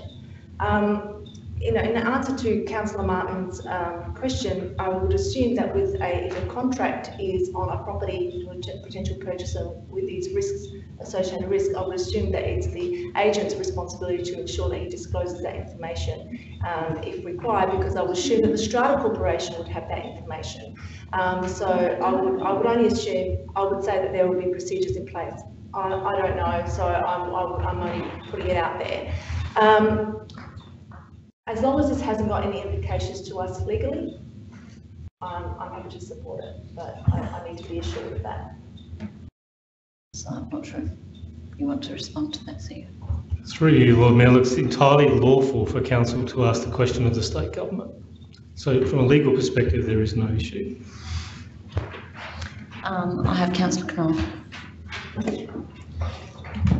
I mean, uh, I suppose when you look, now look through the progression of this, this, uh, uh, the cladding, etc., and, and how it's been unfolding, and we listen to the rhetoric and the exaggeration by some of the people here, which is part of the problem. Uh, and we are talking about um, a, in a, a building in a different country with completely different situations. I mean, there are uh, flammable buildings all around Australia. Um, we have a few ourselves because of the, this, the construction of them. But that's what you do with those. That's how you manage those that makes the risk or not.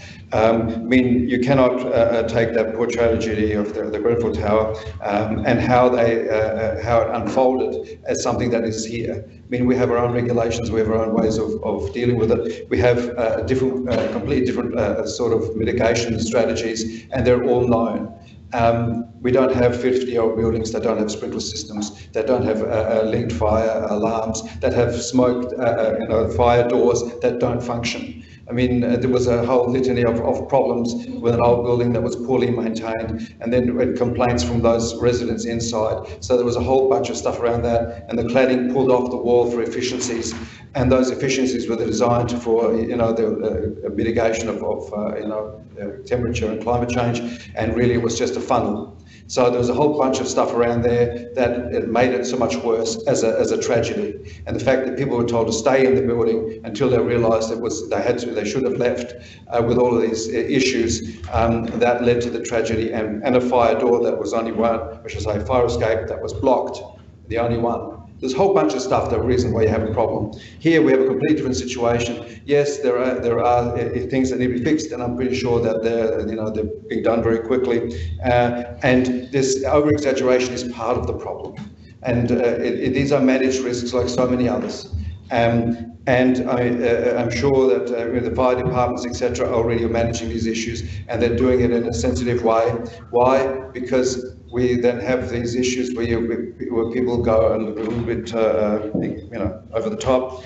And I think it, it's not, it doesn't serve anybody uh, any real purpose to do that. And I'm pretty sure also that these buildings will be dealt with very quickly. So it's done in a, in a measured way, and uh, in a cautious way so that we are achieving the, the right outcome but not making things worse and also over exaggerating because I mean Adelaide would, uh, from what I gather uh, is not has not got any of these issues like any of the other cities it is very uh, by comparative quite minor and uh, particularly the city of Adelaide I believe I'm not sure that's just um, so you know, it, we do have to think about that. And, you know, saying about dodgy buildings, etc. None of these buildings were here we talk about Sydney and Melbourne, we don't have that regulations here, we don't have that oversight here, we have something much more strenuous. So therefore, I believe we are certainly going to uh, solve this issue. We're going to do it in a, in a, in a considered way, and, in, and it will uh, progress quite quickly. Thank you. Uh, would anybody else like to speak to this? If not, Councillor Abrahimzadeh. Thank you, Lord Mayor. Just briefly, um, I uh, just wanted to clarify something for all the members here. Um, we were told earlier that this was all a, uh, uh, a, big secret, but I just want to point to administration's uh, uh, comments. Point seven, the City of Adelaide's Building Fire Safety Committee has issued letters to advise relevant building owners of the outcome of the audit, which means the building owners already know uh, what the issues are. So I think the difference here, I'm just trying to understand what the, I guess, well, what the intent is. Um, if the building owners already know that uh, there are issues with those buildings, then is it just a matter of standing on top of a, a roof with a loudspeaker and publicly decla declaring all the addresses and all the buildings, or are we actually going to those building owners one by one and having, having that conversation with them, telling them that there's an issue with the building? So I think that's something that uh, that members need to be mindful of if uh, if they are thinking about uh, uh supporting or, uh, or not supporting this uh, this amendment. Thank you. I'll go back to Councillor Martin to sum up. Look, I think I think I can help the councillor with his concern. Yes, building owners are being informed. Our, our own administration has done that. But you have to understand, in buildings, there are strata arrangements where there may be 60 or 80 offices. Point of order, um, Lord Mayor, is the meant to talk to the chair or to councillor today?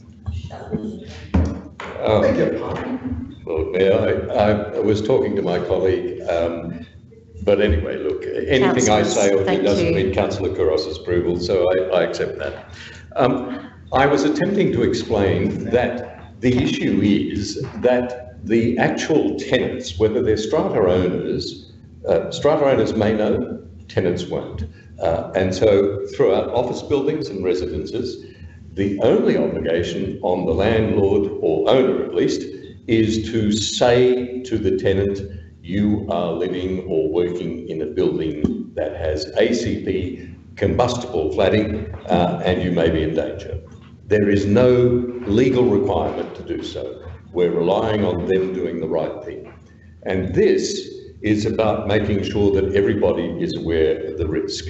Now, in some cases, strata managers are telling me, and I would think Councillor Couros as a real estate agent would know this, strata managers are telling me that uh, they are not aware of all of the implications for buildings yet, other than the advice from the City of Adelaide or other areas, and they are a bit uncertain about what their advice is to other strata uh, uh, owners within the building. Um, it, it is, look, it is a mangled, mangled situation at the moment, and we are in this pickle because there is this secrecy around it.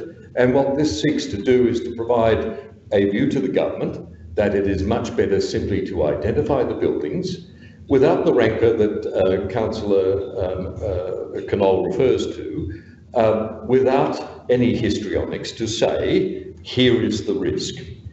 We think you should be in a position to be able to mitigate that risk. And it is much bigger than us. I mean, for example, the Engineers Society recommendation is that, and this is the Insurance Council's view, that wherever there is a sprinkler system now in this city, if it is supplied by electricity, it should also be backed up by diesel. That is new. That doesn't happen in many circumstances. And that is one of the risks in uh, this scenario here. Now, uh, I understand the point that was made about the Commissioner.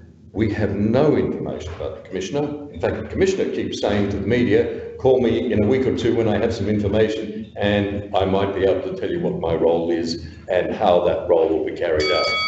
But the point, and just to wind up, Lord Mayor, the point that I wish to make in this is that we are becoming embroiled in a very, very big, messy issue, and there is no reason for us to be there. We should be asking the government, without any shadow of a doubt, to manage this affair, not to leave it to us. Councillor Martin. Um, as requested, I'm going to take this in parts. So um, I will ask council to vote on part one. Uh, those in favour? Those against? That's carried. And part two, those in favour?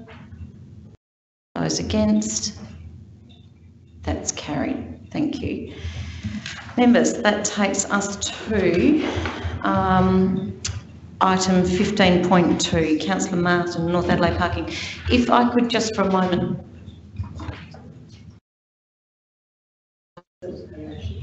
Um, I, I have a family uh, situation I just need to attend to. Councillor Donovan, do you mind just taking the chair for a moment?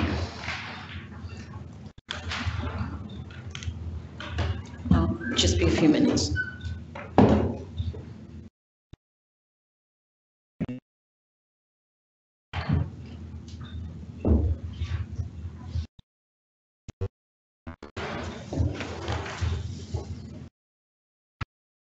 So item 15.2, councillor Martin, do you wish to speak to your motion?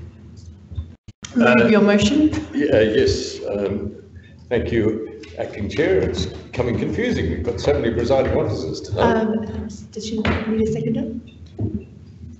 Do we have a seconder? Councillor Simms? Uh, Thank you. Um, I'm sorry uh, to take so long. Um, Look, uh, Councillor Couros's motion to uh, scrap the North Adelaide um, um, uh, parking and uh, traffic management um, trial and plan um, has caused some disappointment. In fact, you saw the uh, petition earlier this evening from residents in Kingston Terrace. Um, but it's also uh, disappointed uh, businesses. Um, now, uh, Councillor Couros's plan has reinstated 311 parking bays from timed to long timed to 10 hours in North Adelaide. And um, if you're a resident in North Adelaide, um, you understand that anything that is 10 hours or untimed is pretty much taken up by city commuters uh, from seven o'clock in the morning. They flood in and they use North Adelaide as a car park, uh, jumping on to the, uh, the free bus to the city, denying, by the way, I might add uh, for members, denying revenue to the uh, car parks of the City of Adelaide by using North Adelaide as their parking area. Um, one of the centrepieces of that local area traffic and parking management plan, uh, one which uh, went through a lot of consultation, particularly with traders and with the Precinct Association, was a proposal for on-street permits for local businesses. Now, uh, this scheme was to have allowed business owners, uh, many of whom uh, don't have parking spaces, because as you all know, um, many of the buildings in North Adelaide are old buildings designed when there were only horses and carts, um, and uh, it would in principle allow them designated area on-street parking permits. So when they arrive, a couple of hours after the commuters, they are assured of a parking space. That's, that's the long and the short of it. Um, as a consequence of these changes, that is no plan for business parking on-street permits, it means that these people are now relegated to the shorter term parking, two hours, one hour, 30 minutes, around the streets playing the shuffle. And what that, do, what that does is it denies the other businesses, the parking spaces for customers. So um, people patronising uh, retail or even Councillor Couros's restaurants, people patronising those areas would find it more difficult to find a parking spot. Now, um, I think we can go some way to ameliorating this uh, difficult situation, this disappointment for people like the Precinct Association, um, by asking the administration to try to salvage the remnants of another part of that local area traffic management plan um, and come back to us and tell us how we can create what, what was the intention of council this year, a scheme that will serve business owners in North Adelaide. Now, um, it's, it's not a plan that I'm asking for. It is a proposal and investigation about how it might work, and therefore I would ask you to support that. And point of clarification from CEO. Through Lord Mayor, Councillor Martin, the, the, the, the date on item two of 1st of December, I'm advised may be problematic just from a capacity to provide a report. Are you flexible in that date in any way? You, Sure. could, Is the third or fourth all right, or? um, Oh, well, look, uh, I'm happy to make it first meeting in the new year. that would be appreciated. Okay? Councillor Simms, do you wish to speak? Reserve my right. Councillor Moran. Yes, could I just ask the administration a couple of questions first? Sorry, just to pause, Councillor Moran, are you happy for that uh, variation, Councillor Simms, as the seconder? I. Yes. And the meeting, are you happy for that variation by a show of hands? Those against? And that is through. Thank you, Councillor Moran. I'm getting a bit depressed by this investigate and, um, and do reports. Could I ask, uh, through you, presiding ma- member, what happened to my women's and children's parent and family override stickers that I successfully moved recently in council? Is that being investigated? Um, has it been investigated? Claire, can you answer? Um, through the presiding member, um, I, would, I would need to um, go back and look at the um, undertaking or the original motion. There has been an update uh, provided to members tonight on all motions um, from this council term. It doesn't ring a bell, so I would need to take advice. Okay, well, uh, the reason um, that I'm moving this is because this does ask for a report and invest, uh, which is the same as investigation. I also move that we uh, use the car park on 88 O'Connell Street as a traders car park That doesn't seem to have happened. We now have an illegal car park, which is called an ancillary car park for activation. The site is not activated 90% of the time, and yet there's an open car park there. So I would ask the administration, if this motion does get up, that you actually report back and it doesn't go into some black hole of administrative doom, uh, because they were good motions. If we had a traders car park, as I moved successfully on council, we wouldn't possibly need so many of these permits. And uh, also the women's and children, parents and family won't be driving around, because Councillor Martin is exactly right. Uh, we live in North Adelaide. It's a very small suburb with a lot of people wanting parking. Um, we went through many, many um, briefings, uh, meeting, workshops last term to do a pyramid. Residents at the top, workers second, um, commuters at the bottom, because we didn't want to be a car park for the city. Um, my, I now look over and most residents that live on the periphery of um, North Adelaide now wake up at seven o'clock, even earlier, to a sea of cars. I live next door to St Dominic's Priory uh, that I moved some time ago to that we give permits at the curtilage of the school. That was knocked back by the team. Um, now when the teachers and the students arrive at 8, 8.30, there are no car parks. People get out with their briefcase, they walk to the free bus on Hill Street and they catch it there. So actually removing the uh, limited parking uh, and making it unlimited um, without permits for the workers um, at the hospitals and the schools has actually disadvantaged them even more than they were disadvantaged in the parking trial. Um, that comes from somebody that doesn't know the area um, and ignoring the sage advice of people that live and work in the area. North Adelaide periphery around the parklands now is a sea of cars, all filled by seven o'clock. The nurses can't park there, the workers can't park there, they're all city workers. And of course, it's delightful. I would do that too if I could park under a nice shady tree in North Adelaide, catch the free bus into town to my office, I would do that. But the intent of the original trial, which was flawed, was to make sure that the workers and the residents and the visitors to North Adelaide, patients at the hospital, parents of patients at the Women's and Children had a fair chance of getting a car park. Now we've thrown out the so-called baby with the bathwater and we're back to being a car park. Thanks, Councillor Couros. And just a point of clarification from the CEO. Through you, Lord Mayor, Councillor Morrell, I understand your comments, but 8 Corner Street, just for the record, does have a development approval for the car park. Thank you. Councillor Couros. Thank you, Chair. Oh, Chair. Uh, we are already in a consultation period for the remaining of the restricted parking, which will come to an end in November 2019.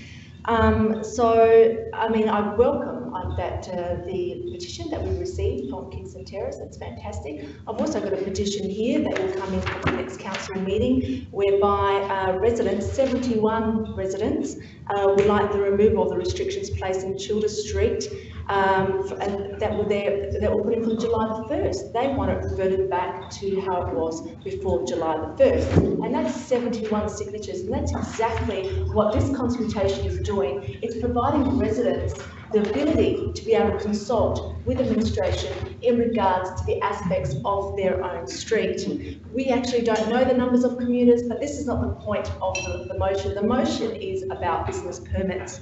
So let's let's talk facts here. So according to the statistics we that I've received, we we have external visitors that come into North Adelaide, and they spend approximately um, 600 um, million, uh, 600 million per annum on dining, coming and dining into North Adelaide. Um, and we also have 200 mil spend on professional services per annum. Um, therefore, the aspect of clogging up our streets with business permits would be a complete disaster for business in the north of the city. So I don't understand the point of this motion. If you speak to businesses, if you actually speak to them, they will tell you the first priority that they want is that they want their customer to be able to, to, to park in the north of the city. That is what they want. So the, the primary, the, the- what the businesses want, and what, they want support from the council for customers to come into their, into their precinct. Um, they don't want the streets to be clogged up with their employees. So let's go back. The Administration told us ten thousand eight hundred people work in North Adelaide. Five thousand eight hundred car parks are available on street.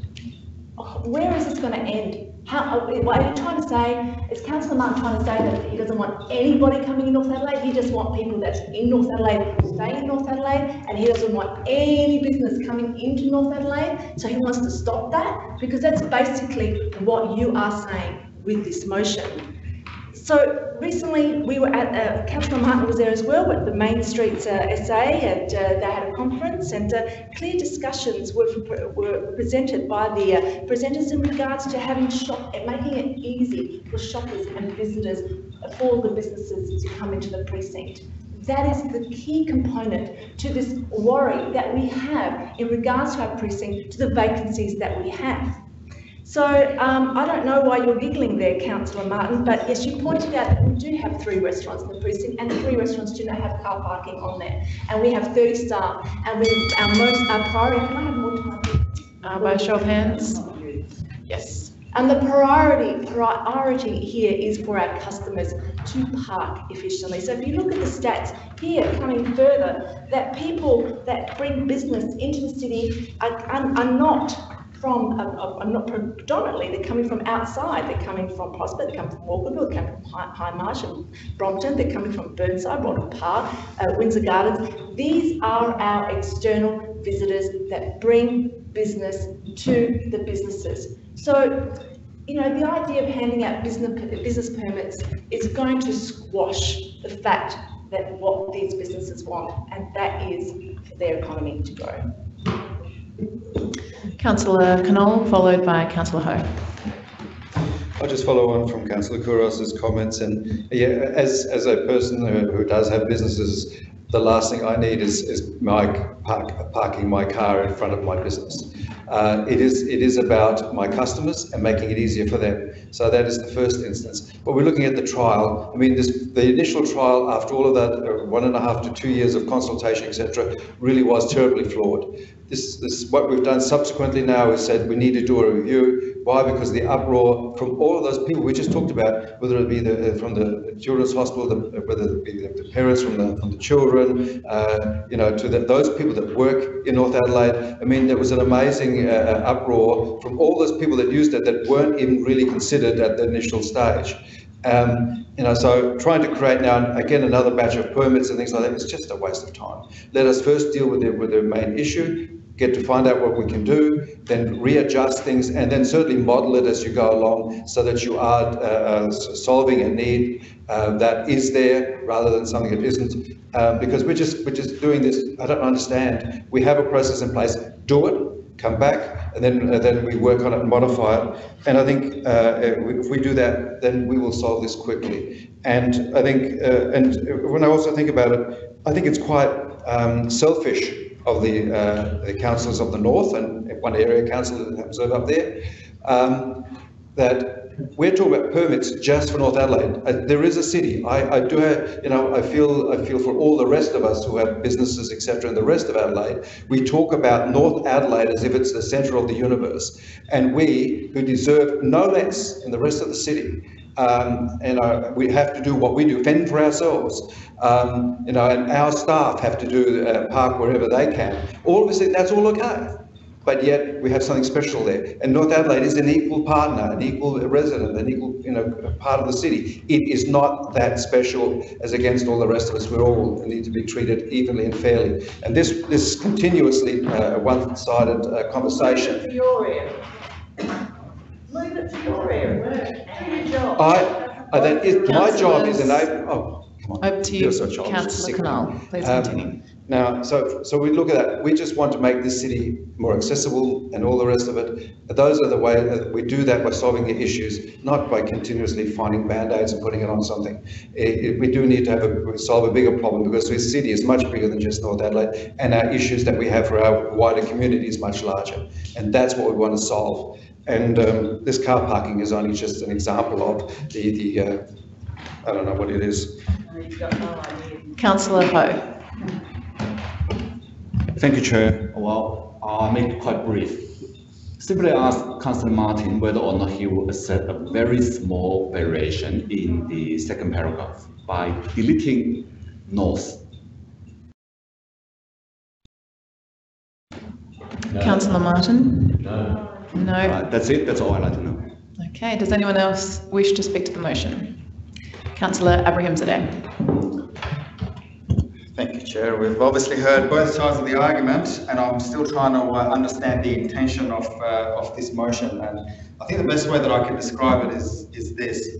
You organise a birthday party, you have one room, you bring in a chair, just one chair, you take that chair, your guests start arriving, there is no chair for them to sit down. So what are they going to do? They're going to leave that party and probably go to one of Councillor Couros's restaurants. That's essentially what this, uh, this motion is trying to do. If we're not, if we're not, uh, if we're not providing for, for our uh, customers, if we're not um, uh, doing what we can for our businesses, I don't know what, uh, what we're all doing here. And I don't really understand what this motion is trying to, trying to do either. So uh, I urge members not to support this. Does anyone else, else wish to speak to the motion? Councillor Martin, would you like to sum up? Yes, uh, thank you. What do I call you? Acting presiding officer? Sure, that sounds good. Okay. Look, um, may I just say that Councillor Couros is discombobulated. She is the most discombobulated person I know. Yes, you're discombobulated. There's no doubt about that. Um, and it is because I'm sorry, I, I thought there was going to be an interjection, there wasn't. And it is because every one of you misunderstands what this is about. You misunderstand that what is happening in North Adelaide at this time is that because of the changes, businesses are being denied parking spaces in areas that were untimed or are 10-hour parking, and so they, the businesses of North Adelaide, are parking in two-hour, one-hour and half-hour areas which are reserved for the customers of the businesses in Adelaide. So you have professional offices where there might be 10 employees and they're flooding in, parking in two-hour zones because all of the 10-hour and untimed ones are filled with city commuters. And as a consequence, these workers in North Adelaide, in the two-hour zones, are preventing people going and patronising Councillor Couros's restaurants.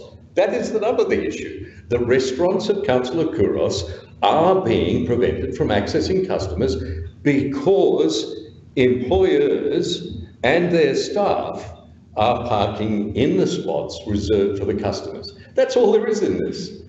So this is asking the administration to come back with a set of proposals that might be developed to allow those employers, those people who are ratepayers in North Adelaide, to park in areas that are currently untimed or 10 hour being used by city commuters, freeing up the half hour, two hour and one hour spaces so that people can go and enjoy a meal at Councillor Couros's restaurant. That's it. That, that is the proposal.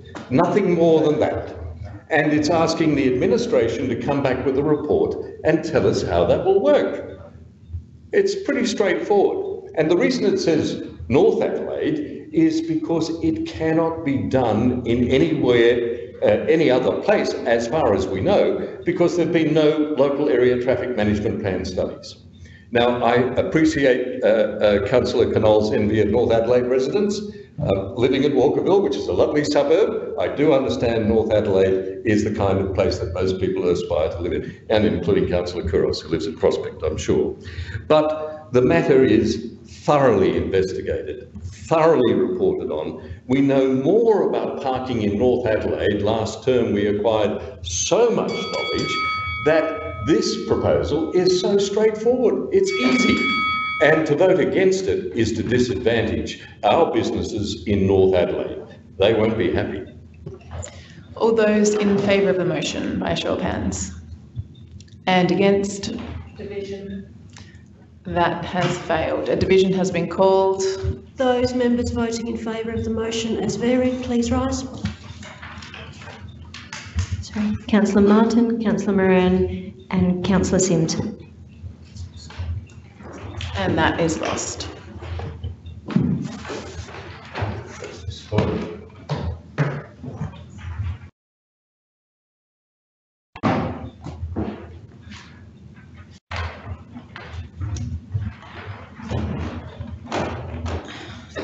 Thank you, councillor Donovan. Uh, We are at item number 15.3, councillor Simms, uh, Treasury Policy provision. Thank you, uh, Lord Mayor. I move the motion as printed and seek a seconder.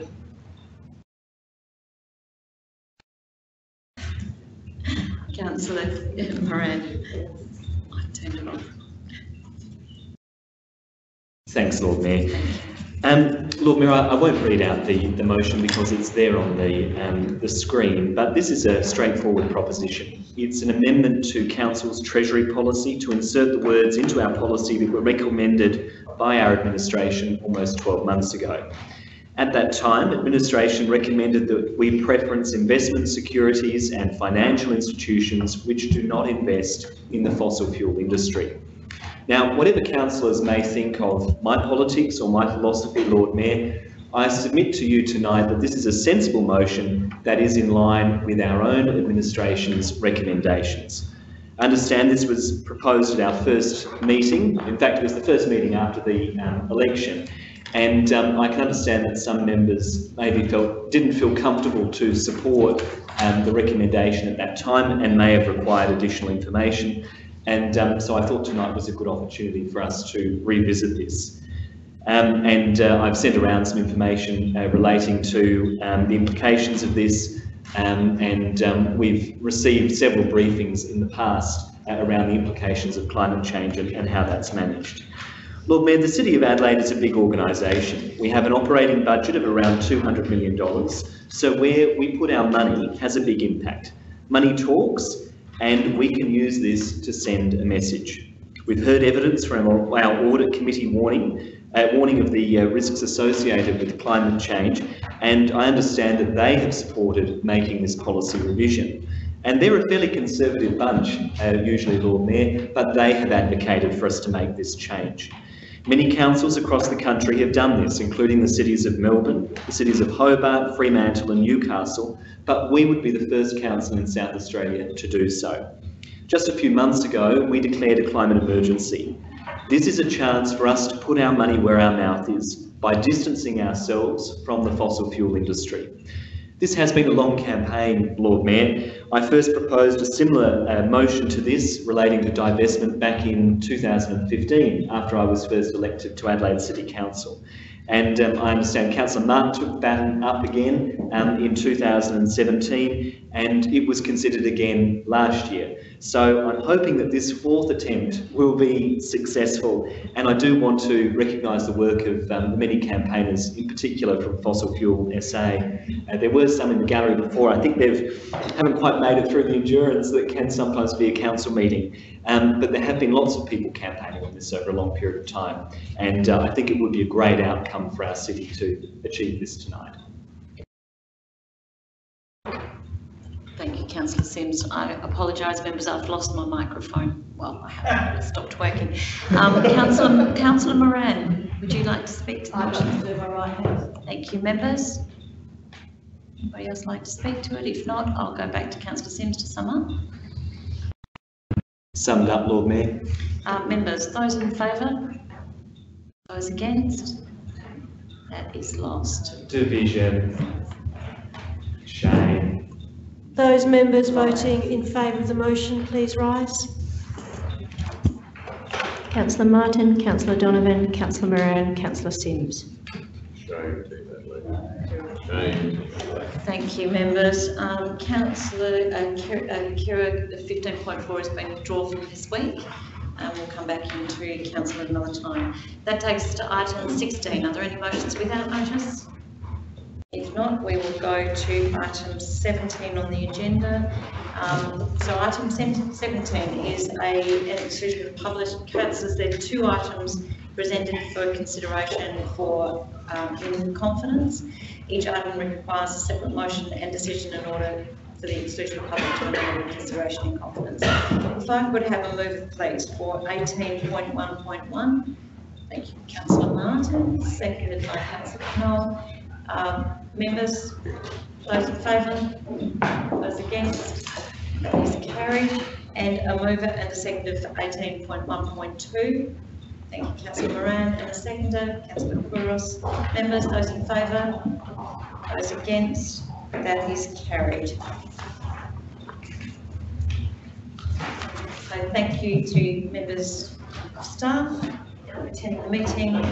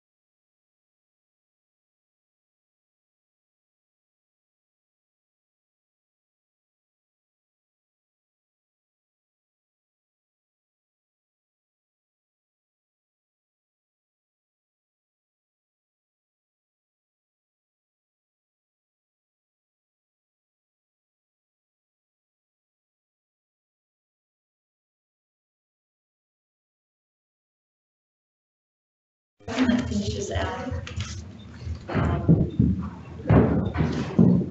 Thank you, Ed. Uh, thank you, members. I declare the meeting closed.